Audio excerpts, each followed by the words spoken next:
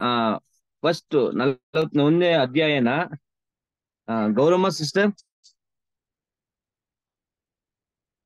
Gauramma sister sister sister ಒಂದೇ ಅಧ್ಯಾಯನ ಪೂರ್ತಿಯಾಗಿ ಓದ್ಬೇಕು ಸಿಸ್ಟರ್ ಇವತ್ತು ಎಲ್ರಿಗೂ ಒಂದೊಂದು ಅಧ್ಯಾಯ. ಓಕೆ ಬ್ರದರ್ ಸೊ ಜನ okay okay sister thank you okay ಒಂದು ನಿಮಿಷ. ನಲ್ವತ್ತ? ಎಷ್ಟು ಬ್ರದರ್ ನಲ್ವತ್ತೈದಲ್ವಾ ನಲವತ್ ಒಂದನೇ ಅಧ್ಯಾಯನ ಪೂರ್ತಿಯಾಗಿ ಓದಿ. ಒಂದೇ ಅಧ್ಯಾಯ ನಲವತ್ತೊಂದನೇ ಅಧ್ಯಾಯನ.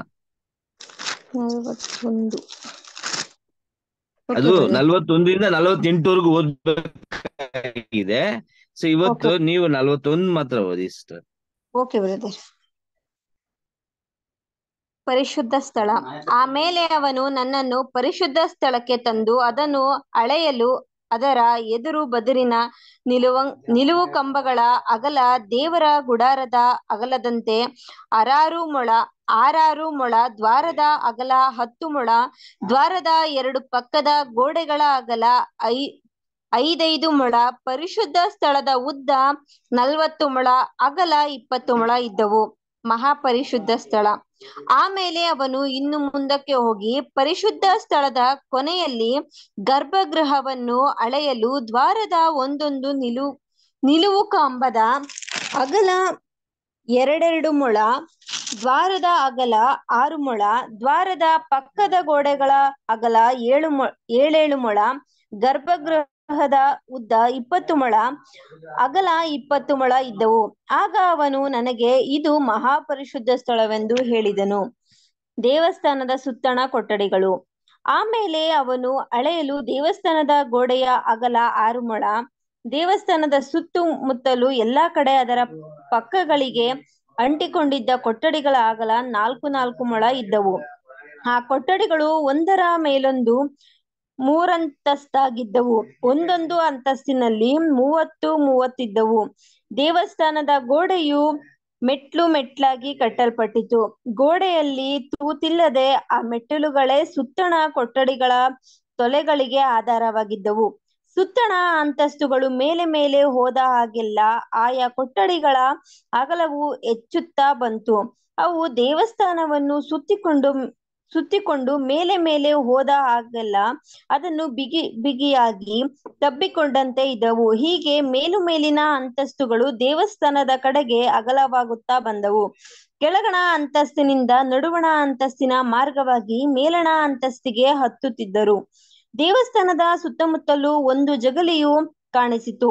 ಅದು ಕೊಠಡಿ ಕೊಠಡಿಗಳಿಗೆ ತಳಹದಿಯಾಗಿ ನೆಲಮಟ್ಟದಿಂದ ತುಂಬಾ ಆರು ಮೊಳದ ಅಳತೆ ಕೋಲಿನಷ್ಟು ಎತ್ತರವಾಗಿತ್ತು ಕೊಠಡಿಗಳ ಹೊರಗೋಡೆಯ ದಪ್ಪವು ಐದು ಮೊಳವಿತ್ತು. ದೇವಸ್ಥಾನಕ್ಕೆ ಅಂಟಿಕೊಂಡ ಆ ಕೊಠಡಿಗಳು ದೀಕ್ಷಿತ ಯಾಜಕರ ಕೋಣೆಗಳಿಗೂ ನಡುವೆ ದೇವಸ್ಥಾನದ ಸುತ್ತಮುತ್ತಲು ಇಪ್ಪತ್ತು ಮೊಳ ಅಂತರವಿತ್ತು. ಆ ಎಲ್ಲಾ ಕೊಠಡಿಗಳ ಪ್ರವೇಶಕ್ಕೂ ಎರಡೇ ಬಾಗಿಲು. ಬಡಗಲಿಗೊಂದು, ತೆಂಕಲಿಗೊಂದು, ಅವೆರಡರು, ಅವೆರಡು ಜಗಲಿಯ ಕಡೆಗಳ, ಕಡೆಗಿದ್ದವು. ಆ ಜಗಲೆಯು ಎಲ್ಲಾ ಕಡೆ ಐದು ಮೊಳ ಅಗಲವಾಗಿತ್ತು. ದೇವಸ್ಥಾನದ ಹಿಂದಿನ ಶಾಲೆಯ ಅಳತೆಗಳು ಇತರ ಅಳತೆಗಳು. ಪಡುವಲಲ್ಲಿ ದೀಕ್ಷಿತರ ಪ್ರಕಾರದ ಹಿಂದಿನ ಶಾಲೆಯ ಅಗಲ ಎಪ್ಪತ್ತು ಮೊಳ, ಉದ್ದ ತೊಂಬತ್ತು ಮೊಳ, ಅದರ ಗೋಡೆಯ ದಪ್ಪ ಐದು ಮೊಳ. ಆ ಪುರುಷನು ಅಳೆಯಲು ದೇವಸ್ಥಾನದ ಉದ್ದ ನೂರು ಮೊಳವು, ದೀಕ್ಷಿತರ ಪ್ರಕಾರ ಶಾಲೆ, ಶಾಲೆಯ ಗೋಡೆಗಳು ಇವುಗಳ ಒಟ್ಟಗಲ ನೂರು ಮೊಳವು. ಮೂಡ ಮೂಡಲಿನ ದೇವಸ್ಥಾನ ಮುಖ ದೀಕ್ಷಿತರ ಪ್ರಕಾರ ಇವುಗಳ ಒಟ್ಟಗಲ ನೂರು ಮೊಳವು ಇದ್ದವು. ಅವನು ದೀಕ್ಷಿತರ ಪ್ರಕಾರ, ಪ್ರಕಾರದ ಹಿಂದಿನ ಶಾಲೆಯನ್ನು ಆ ಪ್ರಕಾರದ ಕಡೆಯಲ್ಲಿ ಅಳೆಯಲು ಅದರ ಉದ್ದ ಎರಡು ಪ, ಪಕ್ಕದ ಗೋಡೆಗಳ ಸಹಿತ ನೂರು ಮೊಳವಿತ್ತು. ದೇವಸ್ಥಾನದ ಒಳಭಾಗದ ವರ್ಣನೆ. ಗರ್ಭಗೃಹ ಪ್ರಕಾರದಲ್ಲಿನ ದ್ವಾರಮಂಟಪಗಳು, ಹೊಸ್ತಲುಗಳು, ತೆರೆಯಲಾದ ಕಿಟಕಿಗಳು, ಹೊಸ್ತಲಿನ ಎದುರಿಗೆ ಮೂರಂತಸ್ತಾಗಿ ಸುತ್ತಲೂ ಕಟ್, ಕಟ್ಟಲ್ಪಟ್ಟ ಗೋಡೆ, ಗೋಡೆಗಳ, ಗೋಡೆಯಟ್ಟಗಳು ಇವುಗಳನ್ನು ಅಳೆದನು. ನೆಲದಿಂದ ಕಿಟಕಿಗಳವರೆಗೂ ದ್ವಾರದ ಮೇಲೂ ಗರ್ಭಗೃಹದ ಮತ್ತು ಈಚಿನ ಗೃಹದ ಗೋಡೆಗಳೆಲ್ಲ ಸುತ್ತಮುತ್ತಲೂ ಹಲಿಗೆಗಳು ಚೌಕ ಚೌಕವಾಗಿ ಹೊಂದಿಸಲ್ಪಟ್ಟಿದ್ದವು. ಕಿಟಕಿಗಳ ಪಕ್ಕಗಳಿಗೂ ಅಗಲಿ ಅಲಿಗೆಗೂ ಹೊಂದಿಕೆ ಇತ್ತು. ಆ ಚೌಕಗಳಲ್ಲಿ ಕೆರೋಬಿಗಳು ಖರ್ಜೂರ ವೃಕ್ಷಗಳು ಚಿತ್ರಿತವಾಗಿದ್ದವು. ಎರಡೆರಡು ಕೆರೋಬಿಗಳ ನಡುವೆ ಒಂದೊಂದು ಖರ್ಜೂರ ವೃಕ್ಷ, ಒಂದೊಂದು ಕೆರೋಬಿನ ಎರಡೆರಡು ಮುಖ ಖರ್ಜೂರ ವೃಕ್ಷದ ಒಂದು ಪಕ್ಕವು ಮನುಷ್ಯ ಮುಖನ ಎದುರು, ಇನ್ನೊಂದು ಪಕ್ಕವು ಸಿಂಹ ಮುಖಕ್ಕೆ ಎದುರು, ದೇವಸ್ಥಾನದ ಒಳಭಾಗವೆಲ್ಲ ಸುತ್ತಮುತ್ತು, ಸುತ್ತುಮುತ್ತು ಹೀಗೆ ಚಿತ್ರಿತವಾಗಿತ್ತು. ನೆಲದಿಂದ ದ್ವಾರವನ್, ದ್ವಾರವೊಂದದ ಮೇಲ್ಮಟ್ಟದ ತನಕ ಕೆರೋಬಿಗಳು, ಖರ್ಜೂರ ವೃಕ್ಷಗಳು ಚಿತ್ರಿತವಾಗಿದ್ದವು. ಪರಿಶುದ್ಧ ಸ್ಥಳದ ಈಚಿನ ಗೋಡೆಯ ಬಾಗಿಲ ಚೌಕಟ್ಟ ಚೌಕ ಚಾಚೌಕವಾಗಿತ್ತು ಮಹಾಪರಿಶುದ್ಧ ಸ್ಥಳದ ಈಗಿನ ಗೋಡೆಯ ಚೌಕಟ್ಟು ಹಾಗೆಯೇ ಇತ್ತು. ಅಲ್ಲಿ ಮರದ ವೇ, ವೇದಿಯೊಂದಿತ್ತು. ಅದರ ಎತ್ತರ ಮೂರು ಮೊಳ, ಉದ್ದ ಎರಡು ಮೊಳ. ಅದರ ಮೂಲೆಗಳು, ಪೀಠವು ಪಕ್ಕಗಳು ಮರದ್ದೇ. ಆ ಪುರುಷನು ನನಗೆ ಇದು ಯಹೋವನ ಸಮ್ಮುಖದ ಮೇಜು ಎಂದು ಹೇಳಿದನು. ಪರಿಶುದ್ಧ ಸ್ಥಳದ ಮತ್ತು ಮಹಾಪರಿಶುದ್ಧ ಸ್ಥಳದ ಬಾಗಿಲುಗಳಿಗೆ ಎರಡೆರಡು ಕದಗಳು, ಒಂದೊಂದು ಕದಕ್ಕೆ ಎರಡೆರಡು ಮಚ ಮಡಚುಚ್ಚುವ ಭಾಗಗಳು, ಇತ್ತ ಕಡೆಯ ಕದಕ್ಕೆ ಎರಡು ಭಾಗ, ಅತ್ತ ಕಡೆಯ ಕದಕ್ಕೆ ಎರಡು ಭಾಗ ಇದ್ದವು. ಆ ಕದಗಳಲ್ಲಿ ಅಂದರೆ ಪರಿಶುದ್ಧದ ಕದಗಳಲ್ಲಿ ಕೆರೋಬಿಗಳು ಖರ್ಜೂರ ವೃಕ್ಷಗಳು ಗೋಡೆಗಳಲ್ಲಿ ಚಿತ್ರಿಸಲ್ಪಟ್ಟ ಹಾಗೆಯೇ ಚಿತ್ರಿತವಾಗಿದ್ದವು. ದ್ವಾರ ಮಂಟಪದ ಹೊರಗಡೆ ಮರ ಮರದ ಸೋರು ಇತ್ತು ಸೂರು ಇತ್ತು. ದ್ವಾರ ಮಂಟಪದ ಪಕ್ ಪಕ್ಕದ ಗೋಡೆಗಳಲ್ಲಿ ತೆರೆಯಲಾಗದ ಕಿಟಕಿಗಳು ಚಿತ್ರಿತ ಚಿತ್ರಿತ ಖರ್ಜೂರದ ವೃಕ್ಷಗಳು ಇದ್ದವು. Thank you brother thank you sister ನಲವತ್ತು ಎರಡನೇ ಅಧ್ಯಾಯನ ಶಾಂತಮ್ಮ ಸಿಸ್ಟರ್ ಓದ್ತೀರಾ? ಶಾಂತಮ್ಮ ಸಿಸ್ಟರ್ ಹಾ ಬ್ರದರ್. ಹಾ ನಲವತ್ತೆರಡನೇ ಅಧ್ಯಾಯ. ಎಜೆಕೆಲ ಎಜೆಕೆಲನು ನಲ್ವತ್ತೆರಡು ಅಧ್ಯಾಯನ ಓದಿ ಸಿಸ್ಟರ್ ಪೂರ್ತಿಯಾಗಿ. ಇಪ್ಪತ್ತು ಇಪ್ಪತ್ತು ವಚನ ಇದೆ. ಪೂರ್ತಿಯಾಗಿ ಓದಿ ಓದಿ ಸಿಸ್ಟರ್ ಥ್ಯಾಂಕ್ ಯು ಯಾಚಕರ ಯಾಜಕರ ಆಮೇಲೆ ಅವನು ನನ್ನನ್ನು ಬಡಗಲ ಮಾರ್ಗವಾಗಿ ಓರೆಗಣ ಪ್ರಕಾರಕ್ಕೆ ಬರಮಾಡಿ ಇಖ್ಯಾಂತರ ಪ್ರಕಾರಕ್ಕೂ, ಉತ್ತರದ ಪೌಳಿಗೋಡೆಗೂ, ನಡುವಣ ಕೋಣೆಗೂ ಕರೆತಂದು ಬಡಗಣ ಬಾಗಿಲ್, ಬಡಗಣ ಬಾಗ್, ಬಾಗಿಲುಗಳು ಕೋಣೆಗಳ ಹ್ಮ್, ಸಾಲಿನ ಮುಂದೆ ನಿಲ್ಲಿಸಿದನು. ಆ ಸಾಲಿನ ಉದ್ದವು ನೂರು ಮೊಳ. ಒಳಗಣ ಪ್ರಕಾರಕ್ಕೆ ಸೇರಿದ ಇಪ್ಪತ್ತು ಮೊಳ ಅಗಲದ ಇಖ್ಯಾಂತರ ಪ್ರಕಾರ, ಪ್ರಕಾರಕ್ಕೂ ಹೊರಗಣ ಪ್ರಕಾರದ ನೆಲಗಟ್ಟಿಗೂ ನಡುವೆಯಿಂದ ಈ ಈ ಪ್ರದೇಶವು ಐವತ್ತು ಮೊಳ ಅಗಲ, ಅಲ್ಲಿನ ಎರಡು ಸಾಲುಗಳ ಮೂರನೆಯ ಅಂತಸ್ತಿನ ಅಂಚಿನ ದ್ವಾರಗಳು ಒಂದಕ್ಕೊಂದು ಎದುರು, ಎದುರಾಗಿದ್ದವು. ಆ ಸಾಲುಗಳು ನಡುವೆ ನೂರ ಮೊಳ, ನೂರು ಮೊಳ ಉದ್ದದ, ಆ, ಹತ್ತು ಮೊಳ ಅಗಲದ ಓಣಿ ಹೊಂದಿತ್ತು. ಆ ಕೋಣೆಗಳ ಬಾಗಿಲುಗಳು ಬಡ ಬಡಗಲ್ ಬಡಗಲ ಕಂಡಾಗಿದ್ದವು ಅದು ಸ್ವಲ್ಪ ಕಾಣಿಸ್ತದೆ. ಮೇಲಣ ಕೋಣೆಗಳು ನಡುವೆ ನಡುವಣ ಮತ್ತು ಕೆಳಗಣ ಕೋಣೆಗಳಿಗಿಂತ ಇಕ್ಕಟ್ಟಾಗಿಯೂ ಇದ್ದವು. ಆ ಹಂಚಿನ ಅಂಚಿನ ದ್ವಾರಗಳು ಅವುಗಳ ಅಗಲವನ್ನು ತಿದ್, ತಿದ್ದು ಬಿಟ್ಟಿದ್ದವು, ತಿಂದು ಬಿಟ್ಟಿದ್ದವು. ಆ ಕೋಣೆಗಳು ಮೂವತ್ತ ಮೂವತ್ತ ಮೂ- ಮೂರ ಅಂತಸ್ತನಾಗಿ ಮೂರ ಅಂತಸ್ತಾಗಿಯೂ ಇದ್ದವು. ಹೊರಗಣ ಪ್ರಕಾರದ ಕೋಣೆಗಳಿಗೆ ಇದ್ದಂತೆ ಈ ಕೋಣೆಗಳಿಗೆ ಕೈಸಾಲೆಗಳಿರಲಿಲ್ಲ. ಆದುದರಿಂದ, ಹ್ಮ್, ನೆಲಗಟ್, ನೆಲ, ನೆಲಕ್ಕೆ ತೆರ- ನೆಲಗತ್ ಕರೆಂಟ್ ಬೇರೆ ಇಲ್ಲ. ಮೂಡಣ ಕೋಣೆಗಳು, ಕೆಳಗಣ ಮತ್ತು ನಡುವಣ ಕೋಣೆಗಳಿಗಿಂತ ಇಕ್ಕಟ್ಟಾಗಿದ್ದವು. ಹೊರಗಣ ಪ್ರಕಾರದ ಕೆ- ಕಡೆ ಕಡೆಯಾಗಿರುವ ಕೋಣೆಗಳ ಸಾಲಿಗೆ ಸಮವಾಗಿ ಹೊರಗೋಡೆಯಾಗಿತ್ತು. ಅದು ಐವತ್ತು ಮೊಳ ಉದ್ದವಾಗಿಯೂ ಎರಡನೆಯ ಸಾಲಿಗೆ ಎದುರಾಗಿತ್ತು ಹೊರಗಣ ಪ್ರಕಾರದ ಕೆಳಗೆ ಕಣ್, ಕೆಡ, ಖಂಡವಾಗಿರುವ ಕೋಣೆಗಳ ಸಾಲಿನ ಉದ್ದವು ಐವತ್ತು ಮೊಳ ದೇವಸ್ಥಾನದ ಕಡೆಯಾಗಿರುವ ಕೋಣೆಗಳು ಸಾಲಿನ ಉದ್ದವು ನೂರು ಮೊಳ ಕೋಣೆಗಳು ಪ್ರಕಾರದ ಮೂಡಲಲ್ಲಿಯೂ ಕೆಳ, ಕೆಳಗಿನ ಕೆಳಗಿನ ಮಂಟಪದಲ್ಲಿಯೂ, ಆ ಪ್ರಕಾರದ ಗೋಡೆಯು ನಡುವೆ ಹೊರಗಣ ಪ್ರಕಾರದಿಂದ ಅಲ್ಲಿಗೆ ಸೇರುವ ಮಾರ್ಗವಿತ್ತು. ಇದಲ್ಲದೆ ಮೂಡಲಲ್ಲಿ ನಂತರ ಪ್ರಕಾರಕ್ಕೂ ಪೌಳಿ ಗೋಡೆಗೂ ನಡುವೆ ಕೋಣೆಗಳಿದ್ದವು. ಇವುಗಳ ಮುಂದೆ ಓಣ್ ಇವುಗಳ ಮುಂದೆ ಓಣೆ ಒಂದಿತ್ತು. ಅವು ಬಡಗಲ ಕೋಣೆಗಳಿಗಿಂತ ಹ್ಮ್ ಕಡ ಕಡ ಕಡಗಣ ಸುತ್ತಿದ್ದವು. ಈಗ ಕರೆಂಟ್ ಬೆಲೆ ಇಲ್ಲ ಬ್ರದರ್ ಇವುಗಳ ಉದ್ದವು ಅಗಲವು ಅವುಗಳ ಉದ್ದವು ಸಿಸ್ಟರ್ ಓದಿ ನಿಧಾನಕ್ಕೆ ಓದಿ. ಕರೆಂಟ್ ಇಲ್ಲ ಬ್ರದರ್ ಅದಕ್ಕೆ ಒಂದೇ ಇವುಗಳ ರಚನೆ ಕ್ರಮ ದ್ವಾರ ನಿಮ ನಿರ್ ನಿರ್ಮ ನಿಗಮನ ಸಿಸ್ಟರ್ ಎಷ್ಟನೇದು ಓದ್ತಾ ಇದ್ದೀರಾ? ನಾನು ಹನ್ನೊಂದು ಓದ್ತಾ ಇದ್ದೀನಿ ಕಾಣಿಸ್ತಾ ಇಲ್ಲ ಬ್ರದರ್ ಕರೆಂಟ್ ಇಲ್ಲ. ಸರಿ ಸಿಸ್ಟರ್ ನಾನು ಮಿಕ್ಕಿದ್ ನಾನು ಓದ್ತೀನಿ ಸಿಸ್ಟರ್ ಹನ್ನೊಂದರಿಂದ ನಾನು ಇಪ್ಪತ್ತು ಓದ್ತೀನಿ ತೊಂದ್ರೆ ಇಲ್ಲ. ಹ್ಮ್ ಥ್ಯಾಂಕ್ ಯು ನನ್ ವಾಯ್ಸ್ ಕೇಳಿಸ್ತಾ ಇದೆ ನನ್ನ ವಾಯ್ಸ್ ಕೇಳಿಸ್ತಾ ಕೇಳಿಸ್ತಿದ್ದೀರಾ? ಹಾ ಕೇಳಿಸ್ತಾ ಇದೆ. ನಾನು ಕನ್ನಡ ಓದೋಕ್ ಅಷ್ಟು ಬರಲ್ಲ ಬಟ್ ನಾನು ಓದ್ತೀನಿ ಅದು ಅತ್ಯ ಹತ್ತು ವಚನನ. ಇವುಗಳ ಮುಂದೆ ಒಣೆಯೊಂತಿತ್ತು ಅವು ಬಡಗಳ ಕೋಣೆಗಳಂತೆ ಕಾಣಿಸುತ್ತಿದ್ದವು. ಇವುಗಳ ಉದ್ಯವು, ಉದ್ದವು ಉದ್ದವು, ಅಗಲವು, ಅವುಗಳ ಉದ್ದವು, ಅಗಲವು ಒಂದೇ. ಇವುಗಳ ರಚನಾಕ್ರಮ, ದ್ವಾರ, ನಿರ್ಕ,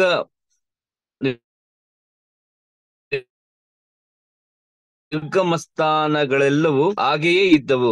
ಕೋಣೆಗಳ ಪ್ರಕಾರವನ್ನು ಮೂಡಲ ಮೂಡಲಲ್ಲಿ ಸೇರುವ ಕಡೆ ಗೋಡೆಯ ಗೋಡೆಯ ಪಕ್ಕದಲ್ಲೇ ಇರುವ ದಾರಿಯ ಕೋಣೆಯಲ್ಲಿ ಒಂದು ಬಾಗಿಲಿತ್ತು. ಆಗ ಅವನು ನನಗೆ, ದೀಕ್ಷಿತರ ಪ್ರಕಾರದ ಬಡಗನ ದೆಂಗಣ ಕಡೆಗಳಲ್ಲಿನ ಕೋಣೆಗಳು ಪರಿಶುದ್ಧವಾಗಿವೆ. ಅಲ್ಲಿ ಯಹೋವನ ಸನ್ನಿಧಿ, ಸೇವಕರಾದ ಯಾಜಕರು ಮಹಾಪರಿಶುದ್ಧ ಪದಾರ್ಥಗಳನ್ನು ಭುಜಿಸುವರು. ಭುಜಿ, ಭುಜಿಸುವರು. ಮತ್ತು ಧಾನ್ಯನ್ಯ, ವೇದ್ಯ ದೋಷ ಪರಿಹಾರಕ ಯಜ್ಞ ಯಜ್ಞ ದ್ರವ್ಯ ಪ್ರಾಯಚಿತ್ತ ಯಜ್ಞ ದ್ರವ್ಯ ಎಂಬಿ ಮಹಾಪರಿಶುದ್ಧ ಪದಾರ್ಥಗಳನ್ನು ಅಲ್ಲಿ, ಅಲ್ಲಿಡುವರು. ಆ ಸ್ಥಳವು ಪರಿಶುದ್ಧ ವಷ್ಟೇ ಯಾಜಕರು ಪರಿಶುದ್ಧ ಪ್ರಕಾರವನ್ನು ಪ್ರವೇಶಿಸಿದ ಮೇಲೆ ಅದನ್ನು ಬಿಟ್ಟು ಹೊರಗನ ಪ್ರಕಾರಕ್ಕೆ ಹೋಗ ಕೊಡುದು, ಕೊಡದು. ತಮ್ಮ ದೀಕ್ಷಾ ವಸ್ತ್ರಗಳನ್ನು ಅಲ್ಲೇ ತೆಗೆದು, ತೆಗೆದಿಟ್ಟುಕೊಳ್ಳಬೇಕು. ಅವು ಪರಿಶುದ್ಧವೇ. ಆಮೇಲೆ ಬೇರೆ ವಸ್ತ್ರಗಳನ್ನು ಹಾಕಿಕೊಂಡು ಸಾಮಾನ್ಯ ಜನರ ಪ್ರಕಾರಕ್ಕೆ ಬರುವರು. ಆ ಪುರುಷನು ಒಳಗನ ಮುಂದಿರುವನು ಮುಂದಿರುವನು. ಅಳೆದು ಬಿಟ್ಟು ನಂತರ ನನ್ನನ್ನು ಮೂಡನ ಹೆಬ್ಬಾಗಿಲ ಮಾರ್ಗವಾಗಿ ಈ ಈಜೆಗೆ ಕರೆತಂದು ಆಲಯವನ್ನೆಲ್ಲ ಸುದ್ದಿ ಮತ್ತು ಮತ್ತಲು, ಸಾರಿ, ಸುದ್ದಿ ಮುತ್ತಲು ಅಳೆದೆನು. ಮೂಡನ ದಿಕ್ಕಿನಲ್ಲಿ ಉದ್ದಕ್ಕೂ ಅಳದೆ ಕೋಳಿನಿಂದ ಐನೂರು ಕೋಳ, ಕೋಳಲದನು. ಬಡಗನ ದಿಕ್ಕಿನಲ್ಲಿ ಉದ್ದಕ್ಕೂ ಅಳದೆ ಕೋಳಿನಂತೆ ನಿಂತೆ ಐನೂರು ಕೋಳೆ ಕೊಳಲೆದನು. ತೆಂಗಿನ ದಿಕ್ಕಿನಲ್ಲಿ ಅಳತೆ ಕೋಳು ನಿಂದ ಐನೂರು ಕೊಳತ ಕೊಳಲೆದನು. ಬಡುವನ ಕೋಡೆಯ ಕಡೆಗೆ ತಿರುಗಿಕೊಂಡು ಅಳತೆ ಕೋಳಿನಿಂದ ಐನೂರು ಕೋಳಲೆದನು. ಆಲಯವನ್ನು ನಾಲ್ಕು ಪಾರ್ಶ್ವಗಳಲ್ಲಿಯೂ ಹಳೆ ಅಳೆದನು ಅಳೆದನು. ಪರಿಶುದ್ಧವಾದ ಮತ್ತು ಪರಿಶುದ್ಧ ಶುದ್ಧ ಅಪರಿಶುದ್ಧವಾದ ಪ್ರದೇಶಗಳನ್ನು ವಿಂಗಡಿಸುವುದಕ್ಕೆ ಐನೂರು ಅಳತೆ ಕೂಳು, ಕೂಳುದ್ದದ ಐನೂರು ಅಳತೆ ಕೋಳಲ, ಕೋಳಗದ, ಗಲದ ಕೊಡೆಯ ಸುದ್ದಿಮುತ್ತಲಿತ್ತು. ಓಕೆ ಹ್ಮ್. ಮತ್ತೆ ನಲವತ್ತ ಮೂರನೇ ಅಧ್ಯಾಯನ ಆ ಎಷ್ಟು ವಚನ ಇದೆ? ನಲವತ್ಮೂರು ಇಪ್ಪತ್ತೇಳು ವಚನ ಇದೆ. ಇಪ್ಪತ್ತೇಳನ ನಿರ್ಮಲ ಸಿಸ್ಟರ್ ಓದ್ತೀರಾ? ಓದ್ತೀನಿ ಬ್ರದರ್ ಆರಾಧನೆ. ಯಹೋವನ ಪುನರಾಗಮನ. ಆಮೇಲೆ ಆತನು ನನ್ನನ್ನು ಮೂರಣ ಬಾಗಿಲಿಗೆ ಬರಮಾಡಿದಾಗ ಇಗೋ, ಇಸ್ರಾಯೇಲಿನ ದೇವರ ದೇವರ ತೇಜಸ್ಸು ಮೂಡಣ ಮಾರ್ಗವಾಗಿ ಬಂತು. ಆತನ ಧ್ವನಿಯು ಜಲ ಪ್ರವಾಹದ ಘೋಷದಂತಿತ್ತು. ಆತನ ತೇಜಸ್ಸಿನಿಂದ ಭೂಮಿಯು ಬೆಳಗಿತು. ಮೊದಲು ನನಗೆ ಕಂಡು ಬಂದ ತೇಜಸ್ಸಿನಂತೆ ಅದು ಕಾಣಿಸಿತು. ಪಟ್ಟಣವನ್ನು ಹಾಳು ಮಾಡಲು ನಾನು ಬಂದಾಗ ಎಂಥದ್ದನ್ನು ಕಂಡೆನೋ, ಅಂಥದ್ದನ್ನು ಕಂಡೆನು. ಕೆಬಾರ್ ನದಿಯ ಹತ್ತಿರ ನನಗಾದ ಅದ್ಭುತ ದರ್ಶನದಂಥ ದರ್ಶನವು ಈಗಲೂ ನನಗಾಯಿತು. ಇದನ್ನು ನೋಡಿ ಅಡ್ಡ ಬಿದ್ದೆನು ಆಗ ಯಹೋವನ ತೇಜಸ್ಸು ಮೂಡಣ ಬಾಗಿಲ ಮಾರ್ಗವಾಗಿ ದೇವಸ್ಥಾನವನ್ನು ಪ್ರವೇಶಿಸಿತು. ದೇವರಾತ್ಮವು ನನ್ನನ್ನು ಎತ್ತಿ ಒಳಗಣ ಪ್ರಕಾರಕ್ಕೆ ತರಲು ಆಹಾ, ಯಹೋವನ ತೇಜಸ್ಸು ದೇವಸ್ಥಾನವನ್ನು ತುಂಬಿಕೊಂಡಿತ್ತು. ಆಗ ದೇವಸ್ಥಾನದೊಳಗಿಂದ ನನ್ನನ್ನು ಸಂಬೋಧಿಸಿ ನುಡಿಯುವವನ ಶಬ್ದವು ನನ್ನ ಕಿವಿಗೆ ಬಿತ್ತು. ಆ ಪುರುಷನು ನನ್ನ ಪಕ್ಕದಲ್ಲಿ ನಿಂತಿದ್ದನು. ನುಡಿಯುವಾತನು ನನಗೆ ಹೀಗೆ ಹೇಳಿದನು. ನರಪುತ್ರನೇ, ಇದು ನನ್ನ ಸಿಂಹಾಸನ ಸ್ಥಾನ. ನನ್ನ ಪಾದ ಸನ್ನಿಧಿ ಇಲ್ಲಿ ನಾನು ಇಸ್ರಾಯೇಲ್ಯರ ಮಧ್ಯೆ ಸದಾ ವಾಸಿಸುವೆನು. ಇಸ್ರಾಯೇಲ್ ವಂಶದವರಾಗಲಿ, ಅವರ ಅರಸರಾಗಲಿ ತಮ್ಮ ದೇವದ್ರೋಹದಿಂದಲೂ ಗತಿಸಿದ ಅರಸರ ಶವಗಳಿಂದಲೂ ನನ್ನ ಹೊಸ್ತಿಲು ನಿಲುವುಗಳ ಪಕ್ಕದಲ್ಲಿ ತಮ್ಮ ಹೊಸ್ತಿಲು ನಿಲುವುಗಳನ್ನು ಹಾಕಿಕೊಂಡು ನನ್ನ ಮನೆಗೂ ತಮ್ಮ ಮನೆಗೂ ಒಂದೇ ಗೋಡೆಯಾಗುವಂತೆ ಮಾಡಿಕೊಂಡಿರು ಮಾಡಿಕೊಳ್ಳುವುದರಿಂದಲೂ ಇನ್ನು ನನ್ನ ಪವಿತ್ರ ನಾಮವನ್ನು ಹೊಲೆಗೆಡಿಸಿದರು ಆಹಾ, ನಾವು ನಡೆಸಿದ ದುರಾಚಾರಗಳಿಂದ ನನ್ನ ಪವಿತ್ರ ನಾಮವು ಕೊಲೆಗೆಡಿಸಿದರು. ಆದ ಕಾರಣ ನಾನು ಕೋಪಗೊಂಡು ಅವರನ್ನು ನಾಶ ಮಾಡಿದೆನು ಈಗಲಾದರೂ ತಮ್ಮ ದೇವ ದ್ರೋಹವನ್ನು ಮತ್ತು ಅರಸರ ಶವಗಳನ್ನು ನನಗೆ ದೂರ ಮಾಡಲಿ. ಈಗ ನಾನು ಅವರ ಮಧ್ಯೆ ಸದಾ ವಾಸಿಸುವೆನು. ನರಪುತ್ರನೇ ಇಸ್ರಾಯೇಲ್ ವಂಶದವರು ತಮ್ಮ ಅಪರಾಧಗಳ ನಿಮಿತ್ತ ನಾಚಿಕೆ ಪಡುವಂತೆ ದೇವಾಲಯವನ್ನು ಅವರಿಗೆ ತೋರಿಸು, ಅವರು ಅದನ್ನು ಅಳತೆ ಮಾಡಲಿ. ತಾವು ನಡೆಸಿದ ದುಷ್ಕೃತ್ಯಗಳಿಗೆಲ್ಲಾ ನಾಚಿಕೆ ಪಟ್, ಪಟ್ಟರೆ, ನೀನು ದೇವಸ್ಥಾನದ ರೂಪವನ್ನು, ವ್ಯವಸ್ಥೆಯನ್ನು ಗಮನ ಗಮನ ನಿಯಮಗಳಿಂದಲೂ, ಸಲಹಾ ರಚನಾ ವಿಧಾನಗಳಿಂದಲೂ, ಸಮಸ್ತ ವಿಧಿಗಳನ್ನು, ಸರ್ವ ನಿರ್ಮಾಣ ರೀತಿಯನ್ನು, ಎಲ್ಲಾ ಕಟ್ಟಳೆಗಳನ್ನು ಅವರಿಗೆ ತಿಳಿಸಿ. ಅವರು ಅದರ ಪೂರ್ಣ ಕ್ರಮವನ್ನು, ಎಲ್ಲಾ ವಿಧಿಗಳನ್ನು ಅನುಸರಿಸಿ ಕೈಗೊಳ್ಳುವಂತೆ ಅವರ ಎದುರಿಗೆ ಬರೆ. ಇದೇ ದೇವಸ್ಥಾನ ನಿಯಮ. ಪರ್ವತಾಗ್ರದ ಅದರ ಪ್ರವೇಶವೆಲ್ಲ ಸುತ್ತುಮುತ್ತಲು ಅತಿ ಪರಿಶುದ್ಧವಾಗಿರಬೇಕು. ಇಗೋ, ದೇವಸ್ಥಾನದ ನಿಯಮವು ಇದೆ. ಯಜ್ಞವೇದಿಯ ನಿರ್ಮಾಣ ಕ್ರಮ. ಯಜ್ಞವೇದಿಯು ಉದ್ದ ಉದ್ದ ಮೊಳದ ಅಳತೆಯು ಪ್ರಕಾರ ಹೀಗಿರಬೇಕು. ಉದ್ದ ಮೊಳ ಅಂದರೆ ಮೊಳದ ಮೇಲೆ ಒಂದು ಹಿಡಿಯುದ್ದ. ಕೆಳಭಾಗದ ಎತ್ತರವು ಒಂದು ಮೊಳ, ಮೇಲಿನ ಬಿಡುವಿನ ಅಗಲವು ಸುತ್ತಲೂ ಒಂದು ಮೊಳ. ಬಿಡುವಿನ ತುದಿಯಲ್ಲಿ ಸುತ್ತಣ ದಂಡಿನ ಅಗಲವು ಒಂದು ಗೇಣು. ಇದೇ ಯಜ್ಞವೇದಿಯ ಪೀಠ ನೆಲದ ಮೇಲೆ ಅಂದರೆ ಕೆಳಭಾಗದ ಮೇಲೆ ಕೆಳಗಣ ಅಂತಸ್ತಿನ ಎತ್ತರವು ಎರಡು ಮೊಳ, ಅದರ ಮೇಲೆ ಬಿಡುವಿನ ಅಗಲವು ಒಂದು ಮೊಳ. ಅದಕ್ಕೆ ಚಿಕ್ಕ ಅಂತಸ್ತಿನ ಮೇಲೆ ದೊಡ್ಡ ಅಂತಸ್ತಿನ ಎತ್ತರವು ನಾಲ್ಕು ಮೊಳ. ಮೇಲಣ ಬಿಡುವಿ ಬಿಡುವಿನ ಅಗಲವು ಒಂದು ಮೊಳ. ಹೋಮ ಕುಂಡದ ಅಂತಸ್ತಿನ ಎತ್ತರವು ನಾಲ್ಕು ಮೊಳ. ಈ ಹೋಮ ಕುಂಡದ ಮೇಲ್, ಮೇಲ್ಗಡೆಯಲ್ಲಿ ನಾಲ್ಕು ಕೊಂಬುಗಳು ಇರಬೇಕು. ಹೋಮ ಕುಂಡವು ಹನ್ನೆರಡು ಮೊಳ ಉದ್ದ, ಹನ್ನೆರಡು ಮೊಳ ಅಗಲ ಚೌಚೌಕವಾಗಿರಬೇಕು. ದೊಡ್ಡ ಅಂತಸ್ತು ಹದಿನಾಲ್ಕು ಮೊಳ ಉದ್ದ, ಉದ್ದವಾಗಿಯೂ, ಹದಿನಾಲ್ಕು ಮೊಳ ಅಗಲವಾಗಿಯೂ ನಾಲ್ಕು ಪಾರ್ಶ್ವಗಳಲ್ಲಿ ಸಮವಾಗಿರಬೇಕು. ಸುತ್ತಣ ದಂಡಿನ ಅಗಲವು ಅರ್ಧ ಮೊಳ, ಕೆಳಭಾಗದ ಸುತ್ತಣ ಅಂಚಿನ ಅಗಲವು ಒಂದು ಮೊಳ. ಸೋಪಾನವು ಮೂಡಲಿಗೆ ಅಭಿಮುಖವಾಗಿರಬೇಕು. ಯಜ್ಞ ವೇದಿಯ ಪ್ರತಿಷ್ಠೆ. ಆಗ ಪುರುಷನು ನನಗೆ ಹೀಗೆ ಹೇಳಿದನು. ನರಪುತ್ರನೇ, ಕರ್ತನಾದ ಯಹೋವನು ಇಂತೆನ್ನುತ್ತಾನೆ. ಸರ್ವಾಂಗ ಹೋಮಕ್ಕೂ ರಕ್ತ ರಕ್ತವೆರೆಚ್ಚುವ ಸಂಸ್ಕಾರಕ್ಕೂ ಯಜ್ಞ ವೇದಿಯ ನಿರ್ಮಿಸುವಾಗ ಈ ವಿಧಿಗಳನ್ನು ಕೈಗೊಳ್ಳಬೇಕು. ಲೇವಿಯರು, ಚಾದೋಕನ ಸಂತಾನದವರು, ನನ್ನ ಸನ್ನಿಧಿ ಸೇವಕರೂ ಆದ ಯಾಜಕರಿಗೆ ನೀನು ಒಂದು ಹೋರಿಯನ್ನು ದೋಷ ಪರಿಹಾರಕ್ಕಾಗಿ ಕೊಡು. ಇದು ಕರ್ತನಾದ ಯಹೋವನ ನುಡಿ. ಅದರ ರಕ್ತದಲ್ಲಿ ಸ್ವಲ್ಪವನ್ನು ತೆಗೆದುಕೊಂಡು ಯಜ್ಞ ವೇದಿಯ ನಾಲ್ಕು ಕೊಂಬುಗಳಿಗೂ, ದೊಡ್ಡ ಅಂತಸ್ತಿನ ನಾಲ್ಕು ಮೂಲೆಗಳಿಗೂ, ಸುತ್ತಣ ದಂಡಿಗೂ ಹಚ್ಚಿ ಯಜ್ಞ ವೇದಿಯ ದೋಷವನ್ನು ಪರಿಹರಿಸಿ ಅದನ್ನು ಶುದ್ಧಿ ಮಾಡು. ಮತ್ತು ದೋಷ ಪರಿಹಾರ ಯಜ್ಞಕ್ಕಾಗಿ ವಿಧಿಸ್, ವಧಿಸಲ್ಪಟ್ಟ ಹೋರಿಯನ್ನು ನೀನು ಒಪ್ಪಿಸಲು ನೇಮಿಸಲ್ಪಟ್ಟವನು. ಪವಿತ್ರಾಲಯದ ಹೊರಗೆ ದೇವಸ್ಥಾನಕ್ಕೆ ಸಂಬಂಧಪಟ್ಟ ಗೊತ್ತಾದ ಸ್ಥಳದಲ್ಲಿ ಅದನ್ನು ಸುಡಬೇಕು. ಎರಡನೆಯ ದಿನದಲ್ಲಿ ನೀನು ಪೂರ್ಣಾಂಗವಾದ ಹೋತವನ್ನು ದೋಷ ಪರಿಹಾರ ಯಜ್ಞಕ್ಕಾಗಿ ಅರ್ಪಿಸು. ಹೋರಿ ಹೋಗಿ, ಹೋರಿಯಿಂದ ಯಜ್ಞ ವೇದಿಯನ್ನು ಶುದ್ಧ ಮಾಡಿದಂತೆ ಹೋತದಿಂದಲೂ ಶುದ್ಧ ಮಾಡತಕ್ಕದ್ದು. ನೀನು ಯಜ್ಞ ವೇದಿಯ ಶುದ್ಧಿ ಕಾರ್ಯವನ್ನು ತೀರಿಸಿದ ಮೇಲೆ ಪೂರ್ಣಾಂಗವಾದ ಹೋರಿಯನ್ನು, ಹಿಂಡಿನಿಂದ ತಂದ ಪೂರ್ಣಾಂಗ ಟಗರನ್ನು ಅರ್ಪಿಸು. ನೀನು ಅವುಗಳನ್ನು ಯಹೋವನಿಗೆ ಅರ್ಪಿಸಲು.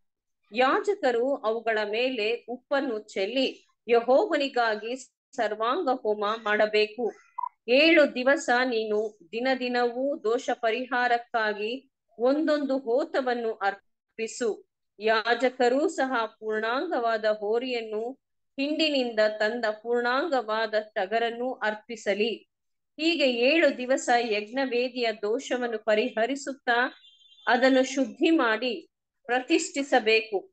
ಏಳು ದಿನಗಳ ಕಾರ್ಯವನ್ನು ಮುಗಿಸಿದ ಬಳಿಕ ಎಂಟನೆಯ ದಿನದಲ್ಲಿಯೂ ಮುಂದೆಯೂ ಯಾಜಕರು ಯಜ್ಞವೇದಿಯ ಮೇಲೆ ನಿಮ್ಮ ಪಕ್ಷವಾಗಿ ಸರ್ವಾಂಗ ಹೋಮಗಳನ್ನು ಸಮಾಧಾನ ಯಜ್ಞಗಳನ್ನು ಮಾಡಬೇಕು. ಆಗ ನಾನು ನಿಮಗೆ ಪ್ರಸನ್ನನಾಗುವೆನು. ಇದು ಕರ್ತನಾದ ಯಹೋವನ ನುಡಿ ಇಂತೆಂಬುದೇ. Thank you brother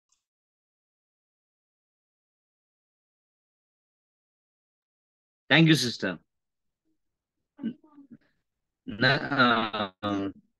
ನಲಕ್ ನಲ ನಲವತ್ನಾಲ್ಕನೇ ಅಧ್ಯಾಯನ ಸರೋಜ ಸಿಸ್ಟರ್ ಓದ್ಬೇಕಾ ಕೇಳ್ಕೊತೀನಿ. ಹಾ ಓದ್ತೀನಿ ಬ್ರದರ್ ಬ್ರದರ್ ಇಲ್ಲಿ ಸ್ವಲ್ಪ ನೆಟ್ವರ್ಕ್ ಇಶ್ಯೂ ಇದೆ. ಕಟ್ ಆದ್ರೆ ಸ್ವಲ್ಪ ಹೇಳ್ಬೇಕು ಬ್ರದರ್ ಸರಿ ಹೇಳ್ತೀನಿ. ಹಾ ಸರಿ ಬ್ರದರ್ ಆಯ್ತು. ಪೂರ್ವದ್ವಾರ ಪ್ರವೇಶ ನಿಷೇಧ. ತರುವಾಯ ಆ ಪುರುಷನು ನನ್ನನ್ನು ಪವಿತ್ರಾಲಯದ ಮೂರಣ ಹೊರಗಣ ಹೆಬ್ಬಾಗಿಲಿಗೆ ಪುನಃ ಕರತಂದನು. ಅದು ಮುಚ್ಚಿತು. ಆಗ ಯಹೋವನು ನನಗೆ ಈ ಬಾಗಿಲು ಮುಚ್ಚಿರಬೇಕು, ಇದನ್ನು ತೆರೆಯಕೂಡದು. ಇದರಿಂದ ಯಾರು ಪ್ರವೇಶಿಸದಿರಲಿ. ಇಸ್ರಾಯೇಲಿನ ದೇವರಾದ ಯಹೋವನು ಇದರಿಂದ ಪ್ರವೇಶಿಸಿದ್ದಾನಲ್ಲ. ಇದು ಮುಚ್ಚೆ ಇರಬೇಕು. ಪ್ರಭುವು ಯೆಹೋವನ ಸನ್ನಿಧಿಯಲ್ಲಿ ಹವಿಭೋಜನ ಮಾಡುವುದಕ್ಕೆ ಇಲ್ಲಿ ಪ್ರಭಾವ, ಪ್ರಭುವಾಗಿ ಕೂತುಕೊಳ್ಳಬಹುದು. ಅವನು ಹೆಬ್ಬಾಗಿಲ ಕೈಸಾಲೆಯ ಮಾರ್ಗವಾಗಿ ಸೇರಿ ಅದೇ ಮಾರ್ಗವಾಗಿ ಹೊರಡಬೇಕು ಎಂದು ಹೇಳಿದನು. ಲೇವಿಯರ ಕರ್ತವ್ಯ. ಬಳಿಕ ಆ ಪುರುಷನು ಬಡಗಣ ಹೆಬ್ಬಾಗಿಲ ಮಾರ್ಗವಾಗಿ ನನ್ನನ್ನು ದೇವಸ್ಥಾನದ ಮುಂದುಗಡೆಗೆ ಕರೆತಂದನು. ಆಹಾ, ನಾನು ನೋಡಲಾಗಿ ಯಹೋವನ ತೇಜಸ್ಸು ಯಹೋವನ ಆಲಯವನ್ನು ತುಂಬಿಕೊಂಡಿತು. ಅದನ್ನು ನೋಡಿ ಅಡ್ಡ ಬಿದ್ದೆನು ಆಗ ಯಹೋವನು ನನಗೆ ಹೀಗೆ ಹೇಳಿದನು, ನರಪುತ್ರನೇ, ಯಹೋವನ ಆಲಯದ ಸಕಲ ನಿಯಮ ನಿಷ್ಠೆಗಳ ವಿಷಯವಾಗಿ ನಾನು ನಿನಗೆ ಹೇಳುವುದೇನೆಲ್ಲ, ನೀನು ಕಿವಿಯಾರೆ ಕೇಳಿ ಕಣ್ಣಾರೆ ಕಂಡು ಮುದ್ದಿಟ್ಟು ಮಾಡಿಕೊ ಮತ್ತು ಪವಿತ್ರಾಲಯದ ಗಮನಾಗ ಮನವಿ ವಿಧಿಗಳನ್ನು ಗಮನಿಸು. ಇದಲ್ಲದೆ ನೀನು ಆ ದ್ರೋಹಿಗಳಿಗೆ ಅಂದರೆ ಇಸ್ರಾಯೇಲ್ ವಂಶದವರಿಗೆ ಹೀಗೆ ನುಡಿ, ಕರ್ತನಾದ ಯಹೋವನು ಇಂತೆನ್ನುತ್ತಾನೆ, ಇಸ್ರಾಯೇಲ್ ವಂಶದವರೇ, ನೀವು ನನ್ನ ಆಹಾರವಾದ ರಕ್ತ, ಮೇದ, ಮೇಧಸ್ಸುಗಳನ್ನು ಅರ್ಪಿಸುವಾಗ ತನುಮನಗಳಲ್ಲಿ ಸುನ್ನತಿಹೀನರಾದ ಮ್ಲೇಚರನ್ನು ನನ್ನ ಪವಿತ್ರಾಲಯದೊಳಗೆ ಬರಮಾಡಿ ನನ್ನ ಮಂದಿರವನ್ನು ಹೊಲೆಗಡಿಸಿ, ನನ್ನ ಒಡಂಬಡಿಕೆಯನ್ನು ಭಂಗಪಡಿಸಿ, ನಿಮ್ಮ ಅಮಿತ ದುರಾಚ